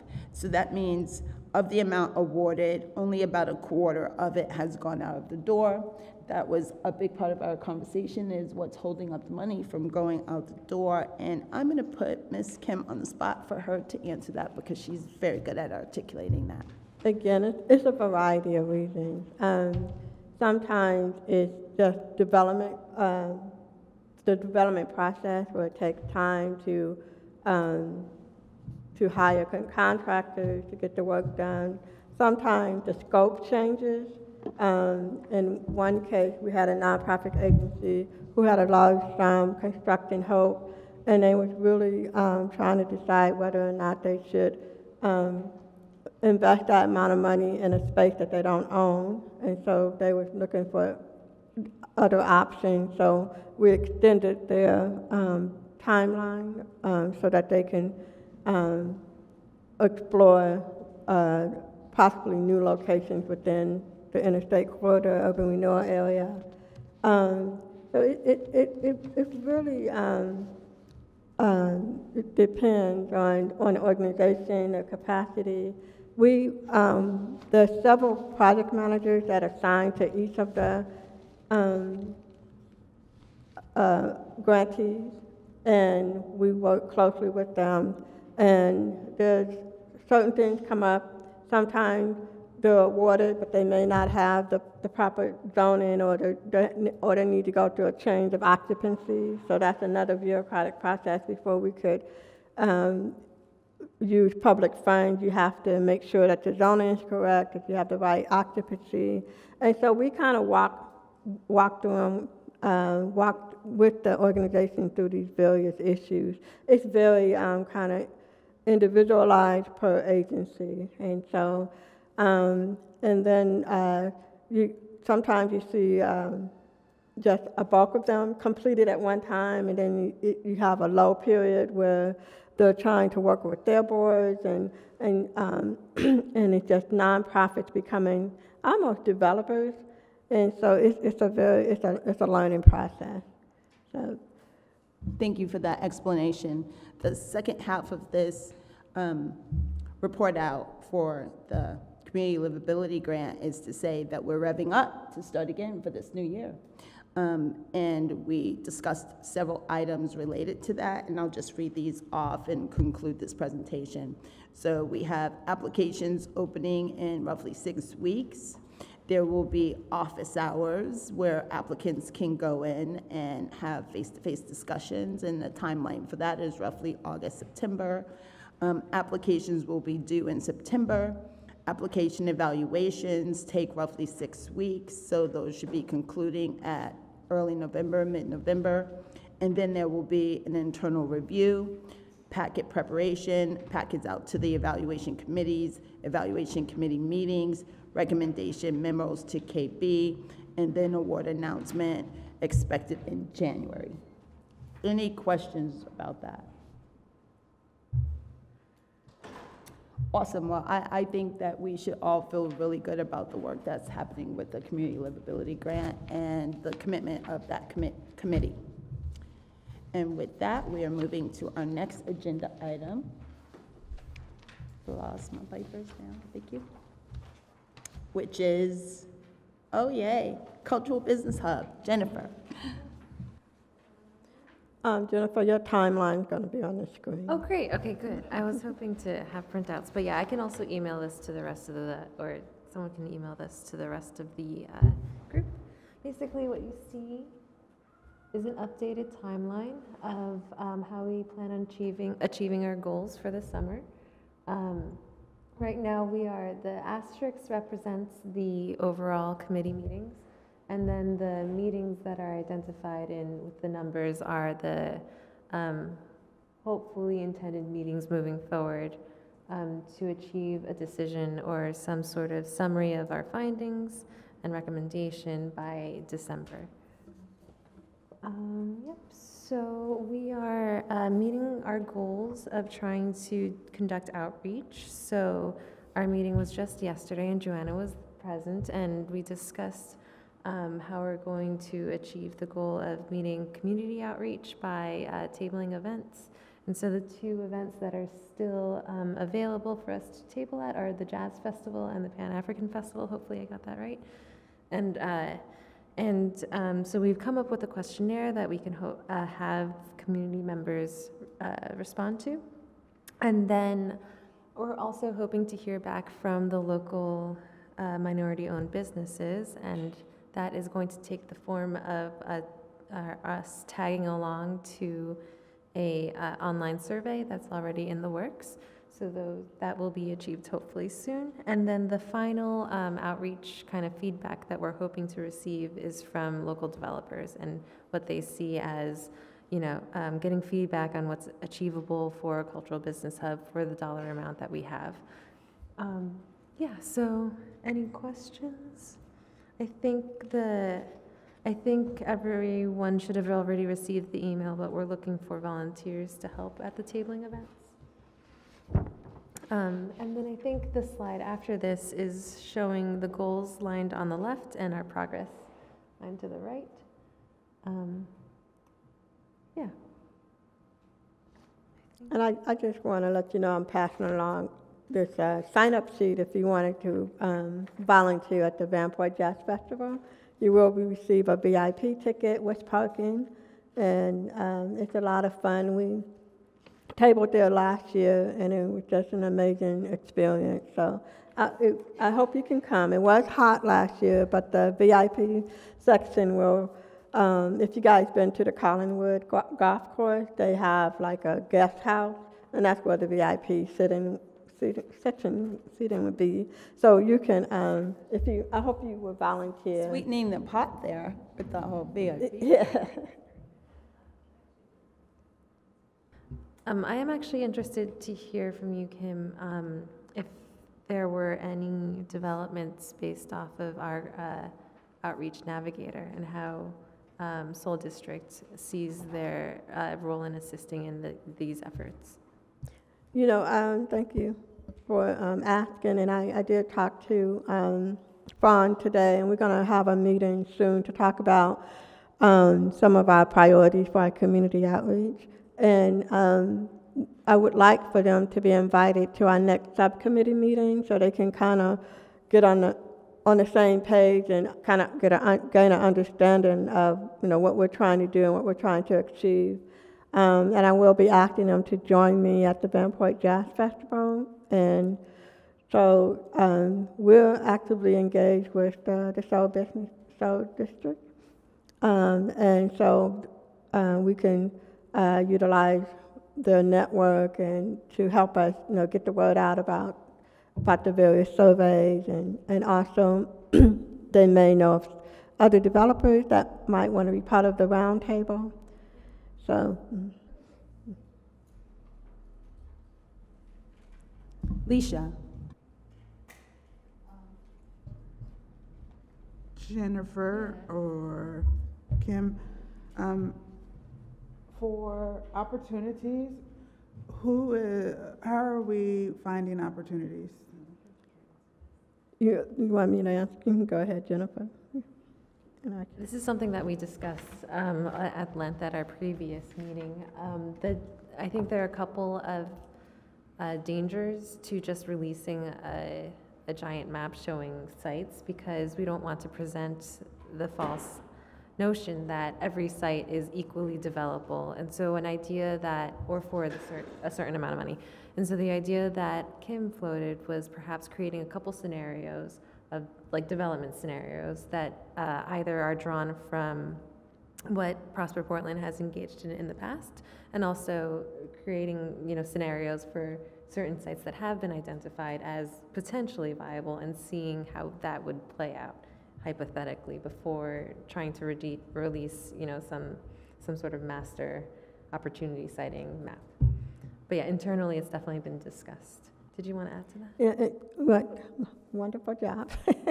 and, I, and I just wanted to add to that is that um, sometimes, you know, you, when you look at the cultural business have allegation is 4.5 million and another 1.5 for the retail tenanting, which isn't a lot of money when you talk about a large, you know, development. So where would you maximize that money? Where are there opportunities? Um, you can have a cultural hub on the ground floor of a new housing development. You know, are there opportunities there, or do we really want to invest in a new new construction where the, the 4.5 will not go a lot, go very far, or is there other people, other development that's happening that um, it could be gap financing? So those are type of when we say opportunities, how can we maximize this 4.5 and, and what are some existing projects that are happening where we could fold those dollars into that project and create a cultural hub um, at that, that location. And I'd like to add to that, um, maximizing the dollars, definitely. And then I'd also like to add maximizing the amount of people that we can serve in terms of, so, so the one, on the one hand, there's the consideration that needs to be given to the type of development and the type of uh, agreement that's struck.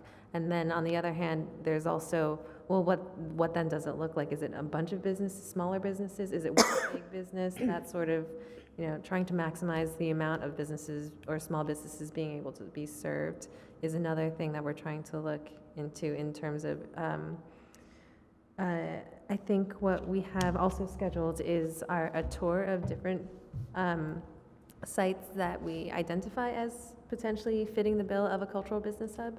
And so that is, that is also added that agenda.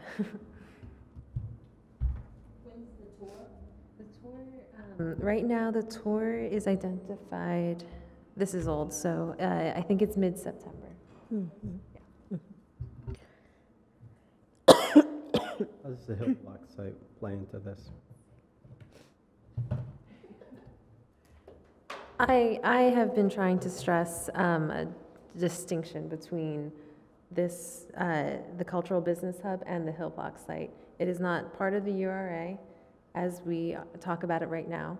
Um, and so we're going to try to maintain our focus, crafting as much, you know, gathering as much in, uh, information as possible from developers, from community members, and from small businesses, and let that lead us to a natural conclusion um, within what we, we know exists today. I, I would just briefly like to um, say that I think it's appropriate for us to be mindful of the Hill Block, um, particularly as we're hearing that they are shifting their position and they're more interested in becoming a part of the URA at this point. Um, So with that, I think we should just be considering what that would, what that would mean and how that might look and how we might be able to support. But I also want to be mindful, I'm sorry, that that may be true, but there are other sites that are, are equally, you know, interested in um, becoming a cultural hub. And so our focus is really to develop the criteria, and then, you know, and that criteria can be folded into their RFP or their NOFA or wherever they decide. But our goal is to really, you know, develop the criteria.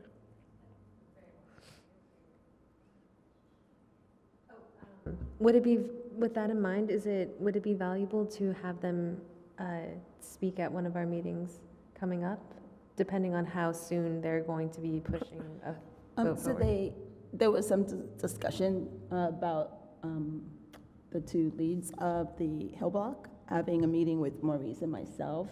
I know that they were able to meet with Haben and Alicia last year, and um, so there might be potential there. Um, Karis, who's not here tonight, she couldn't be here. She has been encouraging um, for this committee to meet with them as well. So there has been, again, as I mentioned, just some shifts and some movement in that respect. And one, one of the things I would say is if, if they're, you know, it's great to meet if we're collaborating on resources and how things work. If it does pertain to the cultural business hub, it should act, they should actually be meeting with that subcommittee. Agreed. Um, So I would, 100%. I would, okay.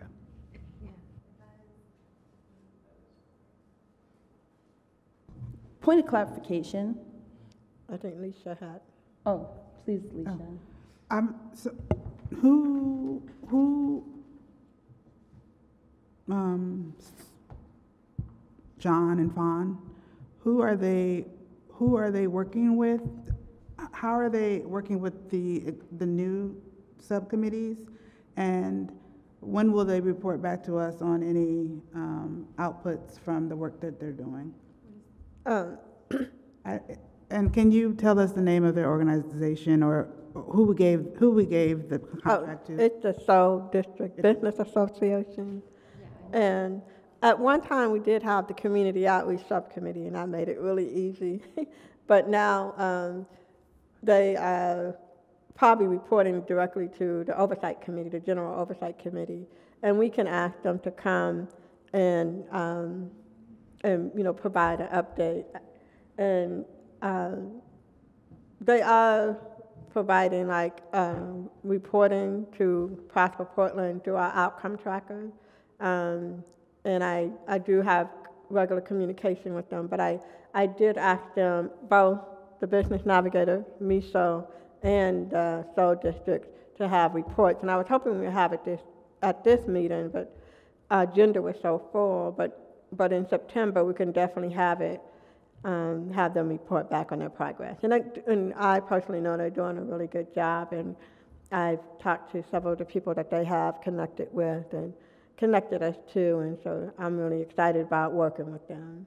Thank you. And, and the other thing, I, I was, my understanding is also that they're, and I think they were at maybe one of ours, but they were going to more engage with the subcommittees as well, as far as it pertains to the work that subcommittees are trying to do. And they, they will, um, it's just that, um, it's so, it's five subcommittees, so we really want to make sure that we're mindful of, and have a, you know, a specific reason why, you know, they should, to engage with us, but they are willing. More? Thank you, Kim. Up next is Ms. Dorsey and our new committee members. Report out. Okay. So um, we met on June 6th. It was myself, Alicia Posey, Maurice Ramming, and Gwen Thompson, and um, Kim as well. Um, so the reason we called the subcommittee for the new members is because we're currently down two members. Um, and so we need to like immediately replace them. And then we have two other members that plan to end their term at December um, of this year. So we want to be proactive in that. Um, so during the meeting, we um, dis- we went over the application that we used previously, um, and we kept everything pretty much the same. Um, but we did add a video of um, one of our meetings for any applicants to review to see if they're interested. Um, so during the meeting, we created a timeline on, you know, what we wanted to do and, and dates and things of that nature. Um, and so we decided to, um, we reviewed the application, made sure that we were good with that, and then the application went live on the 1st of July. Um, and I, I was the one that went, called most of, well, called all of the, um, or reached out in some capacity to the committee members to see um, what they're committing to, and except for just one, and so I'm unsure about that, um, that one person. Um, and so the application deadline, it did go live the first, and the deadline was is August 3rd. Um, and um, we, uh, the subcommittee was supposed to meet back again, or we are going to meet on the 7th of August to review the applications. Um, and currently, unfortunately, we have no applicants, um, and so that that's that sucks. So yeah, so so I would imagine because this is really loud. Um, I would imagine because we, we don't have any applicants, and unless we get some within the next like week, um, this seventh August seventh meeting, we'll discuss, we'll go over our plans. Um, one thing that Kim and I um, discussed um, is that you know uh, that the committee reaches out to people in our networks, sending out the applications that way. So maybe we'll get some applicants, um, as well as I don't know if we can even if Prosper Portland can send it out again. Um, and yeah, our goal was to have the first two members um, that we need to replace immediately to start um, late September, but because of the lack of applicants, um, August 7th, we'll probably um, discuss that and you know make a new timeline. And that's it. Um, how was outreach different this time than last time? Because it seems like you had a very different outcome. Yeah, I mean, I think the outreach was pretty much the same. We, um, uh, they sent the application to whatever the network is through Prosper Portland, just like we did before. We don't know if it's because it's summer, you know, and people just haven't gotten around to it or, or, or what. And so that's something that we do want to, you know, try to, you know, brainstorm to see if, you know, we can come up with that answer or, or just move forward and do some more outreach. And maybe even like at the, um, the Jazz Fest, and um, the other thing that we're going to table, that we can have some applications there and talk about that as well, because, yeah, we need some applicants. That's actually a good idea. Otherwise, you can never go Oscar. You can- Your term will never end.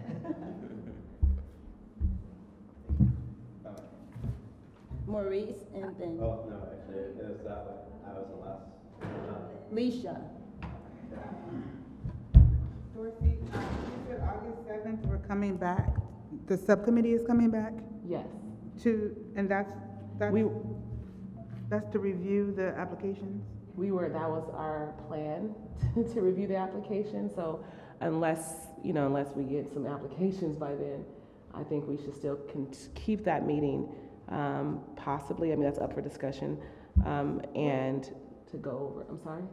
Sorry, I cut you off, go ahead. Oh, okay. Um, to keep that meeting, to go over, you know, to go, to recreate another timeline, so we can, you know, basically see what, you know, what other options we have in terms of getting applicants. So the August second meeting, Second? maybe the, uh, um, the doodle poll one, what, what's, what are we select, what's the special meeting to review the subcommittee? Um, last day for subcommittee members to respond, do the poll to select a date for a special meeting, da, da, da. So that was, the August second was, we, um, if I'm, if I remember correctly, so the August second one was for the subcommittee members to respond to do the doodle poll to select a date for a special meeting. I don't know what that was. Did we already do the doodle poll to come up with the seventh, or? Yeah, we did the doodle poll, but that was another one send out, that was July twenty-fifth, that was the over. I'm not sure, I just highlighted the most important things that was, you know, relevant for today. Right. And so, you know, those ones, I'm not really sure, of. send out the doodle poll for special oversight. Because our intentions was, we would, on the seventh, we would have, um, we would select, we would go through the applications, and then we would um, call for a special meeting for the actual committee to um, uh, approve our recommendations for who we chose. Right, So I'm not sure if, you know, I'm- okay. a little jumbled, you know. Um, And I was, uh, just talk, oh, I'm sorry, I was talking to Troy about, we could probably, we have a week and, about a week to really have a strong push to get more applications, so, um, we may, you know, if you guys could, you know, share it with your network, people that you think may be interested, um, that would help too, because sometimes it's that personal touch, you know, so. Yeah. We could um, definitely use Prosper Portland Network to, to move this, to get the applications out again. Who are the two members that aren't not doing, continuing on? Well, right now, we, um, Haben and Khan. And then um, December, it's you and um, Oscar. And Oscar, can you remind me what your specialty was? In, in what sense? And I feel like we all had, like, I don't know what mine was either. I was just like a community member. Were you representing nonprofit? Were you, I think that was one of them, yes, among other things. And we did discuss in the meeting, like, and I don't have that written down right now, but that did remind me of like what we're looking for. I know we're looking for a developer and then finance, someone on mm-hmm. finance, so that Real is something that we were, finance. you know, when we review the applications, that we were going, to, going to, you know, try to make sure that we review and try to pick someone that's like a developer and someone in finance, right? Mm-hmm. because Robin was finance. Mm. Right.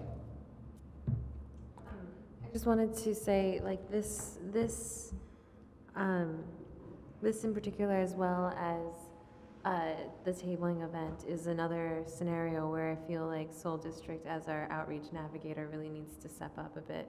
And, and I know, I know behind the scenes they're doing a lot of work. These are the couple scenarios where we can use our own internal network, but we've also paid someone. Yeah. Yeah. And the application does state that, you know, we are prioritizing um, real estate development, I believe it says, on it. It, it it specifically. Did we add that language in there? That could, that might be why we have low numbers too. Oscar? Yeah, I would echo what Jennifer just said, and I would also encourage that the St. John's Center for Opportunity also is like an outreach partner, since they have such a robust uh, network of uh, business folks. And then I would also encourage us to consider um, actually providing a stipend for folks who may, uh, the time commitment may be a barrier for them. So being able to utilize uh, committee members, uh, some of the funds to be able to like provide stipends for folks, and that would incentivize some people who were actually trying to reach with this plan to be part of the committee. I, I agree. Green. Green. You, do you want to make a motion of that? And, and can we retro that? And can we retro? I'm just playing. Whatever we decide, you know? If I need my check. Um, I'm happy to make a motion, not, probably not tonight, because I think we can work it out, but Yeah. like maybe bring something to the next committee and I can work something out in the meantime. Sounds good, thanks. Um, And you can always email us if you want feedback in the meantime as you're working on it, I appreciate that. Next item on our list is an update from Housing Bureau. We know that Ms. Below is not here. Um, and the last item is a progress report from Amy Fleck. Was she here? No, I'm, I'll, I'm Amy tonight. You're Amy. But you, you guys have gone over most of the documents anyway, so, um, you guys received several reporting documents. One was, this is my favorite one, which kind of make it easy to see how much money has been awarded, committed, and dispersed. And so, and you can, um, and then we have that list that shows all of the clients that we have served through the CLG, the PIP grant, and um, the housing. And, um, and you also have this, what we're calling a progress report. And we're going to produce this on an annual basis. And this, I love this one because it highlights your work and the work of the Oversight Committee. And so this is a document that we will be producing um, on a, a, a yearly basis. Yes. Um, this document came from a request from the Investment Allocation Subcommittee who wanted more narrative to supplement the quantitative data. Right. And so um, I'm really proud of this document, and mostly because it, it highlights your work, your good, you know, so. So just so that we're all clear, this is the document she's referring to, and um, Alicia, you are the only one from the, you and Maurice are the ones left from the allocation committee, so I just want to personally thank you um, that I can hold this document in my hand right now. And I would also um, like for this to be added to our next agen- agenda, because I would prefer to have someone actually make presentation on it. So as long as we could loop that back, that would be great. Okay. Um, it's a lot of, you know, celebration. It's the, the right amount of time for it. Correct. Okay. Um, Unless anyone has any questions, we are formally adjourned, and thank you for staying so late.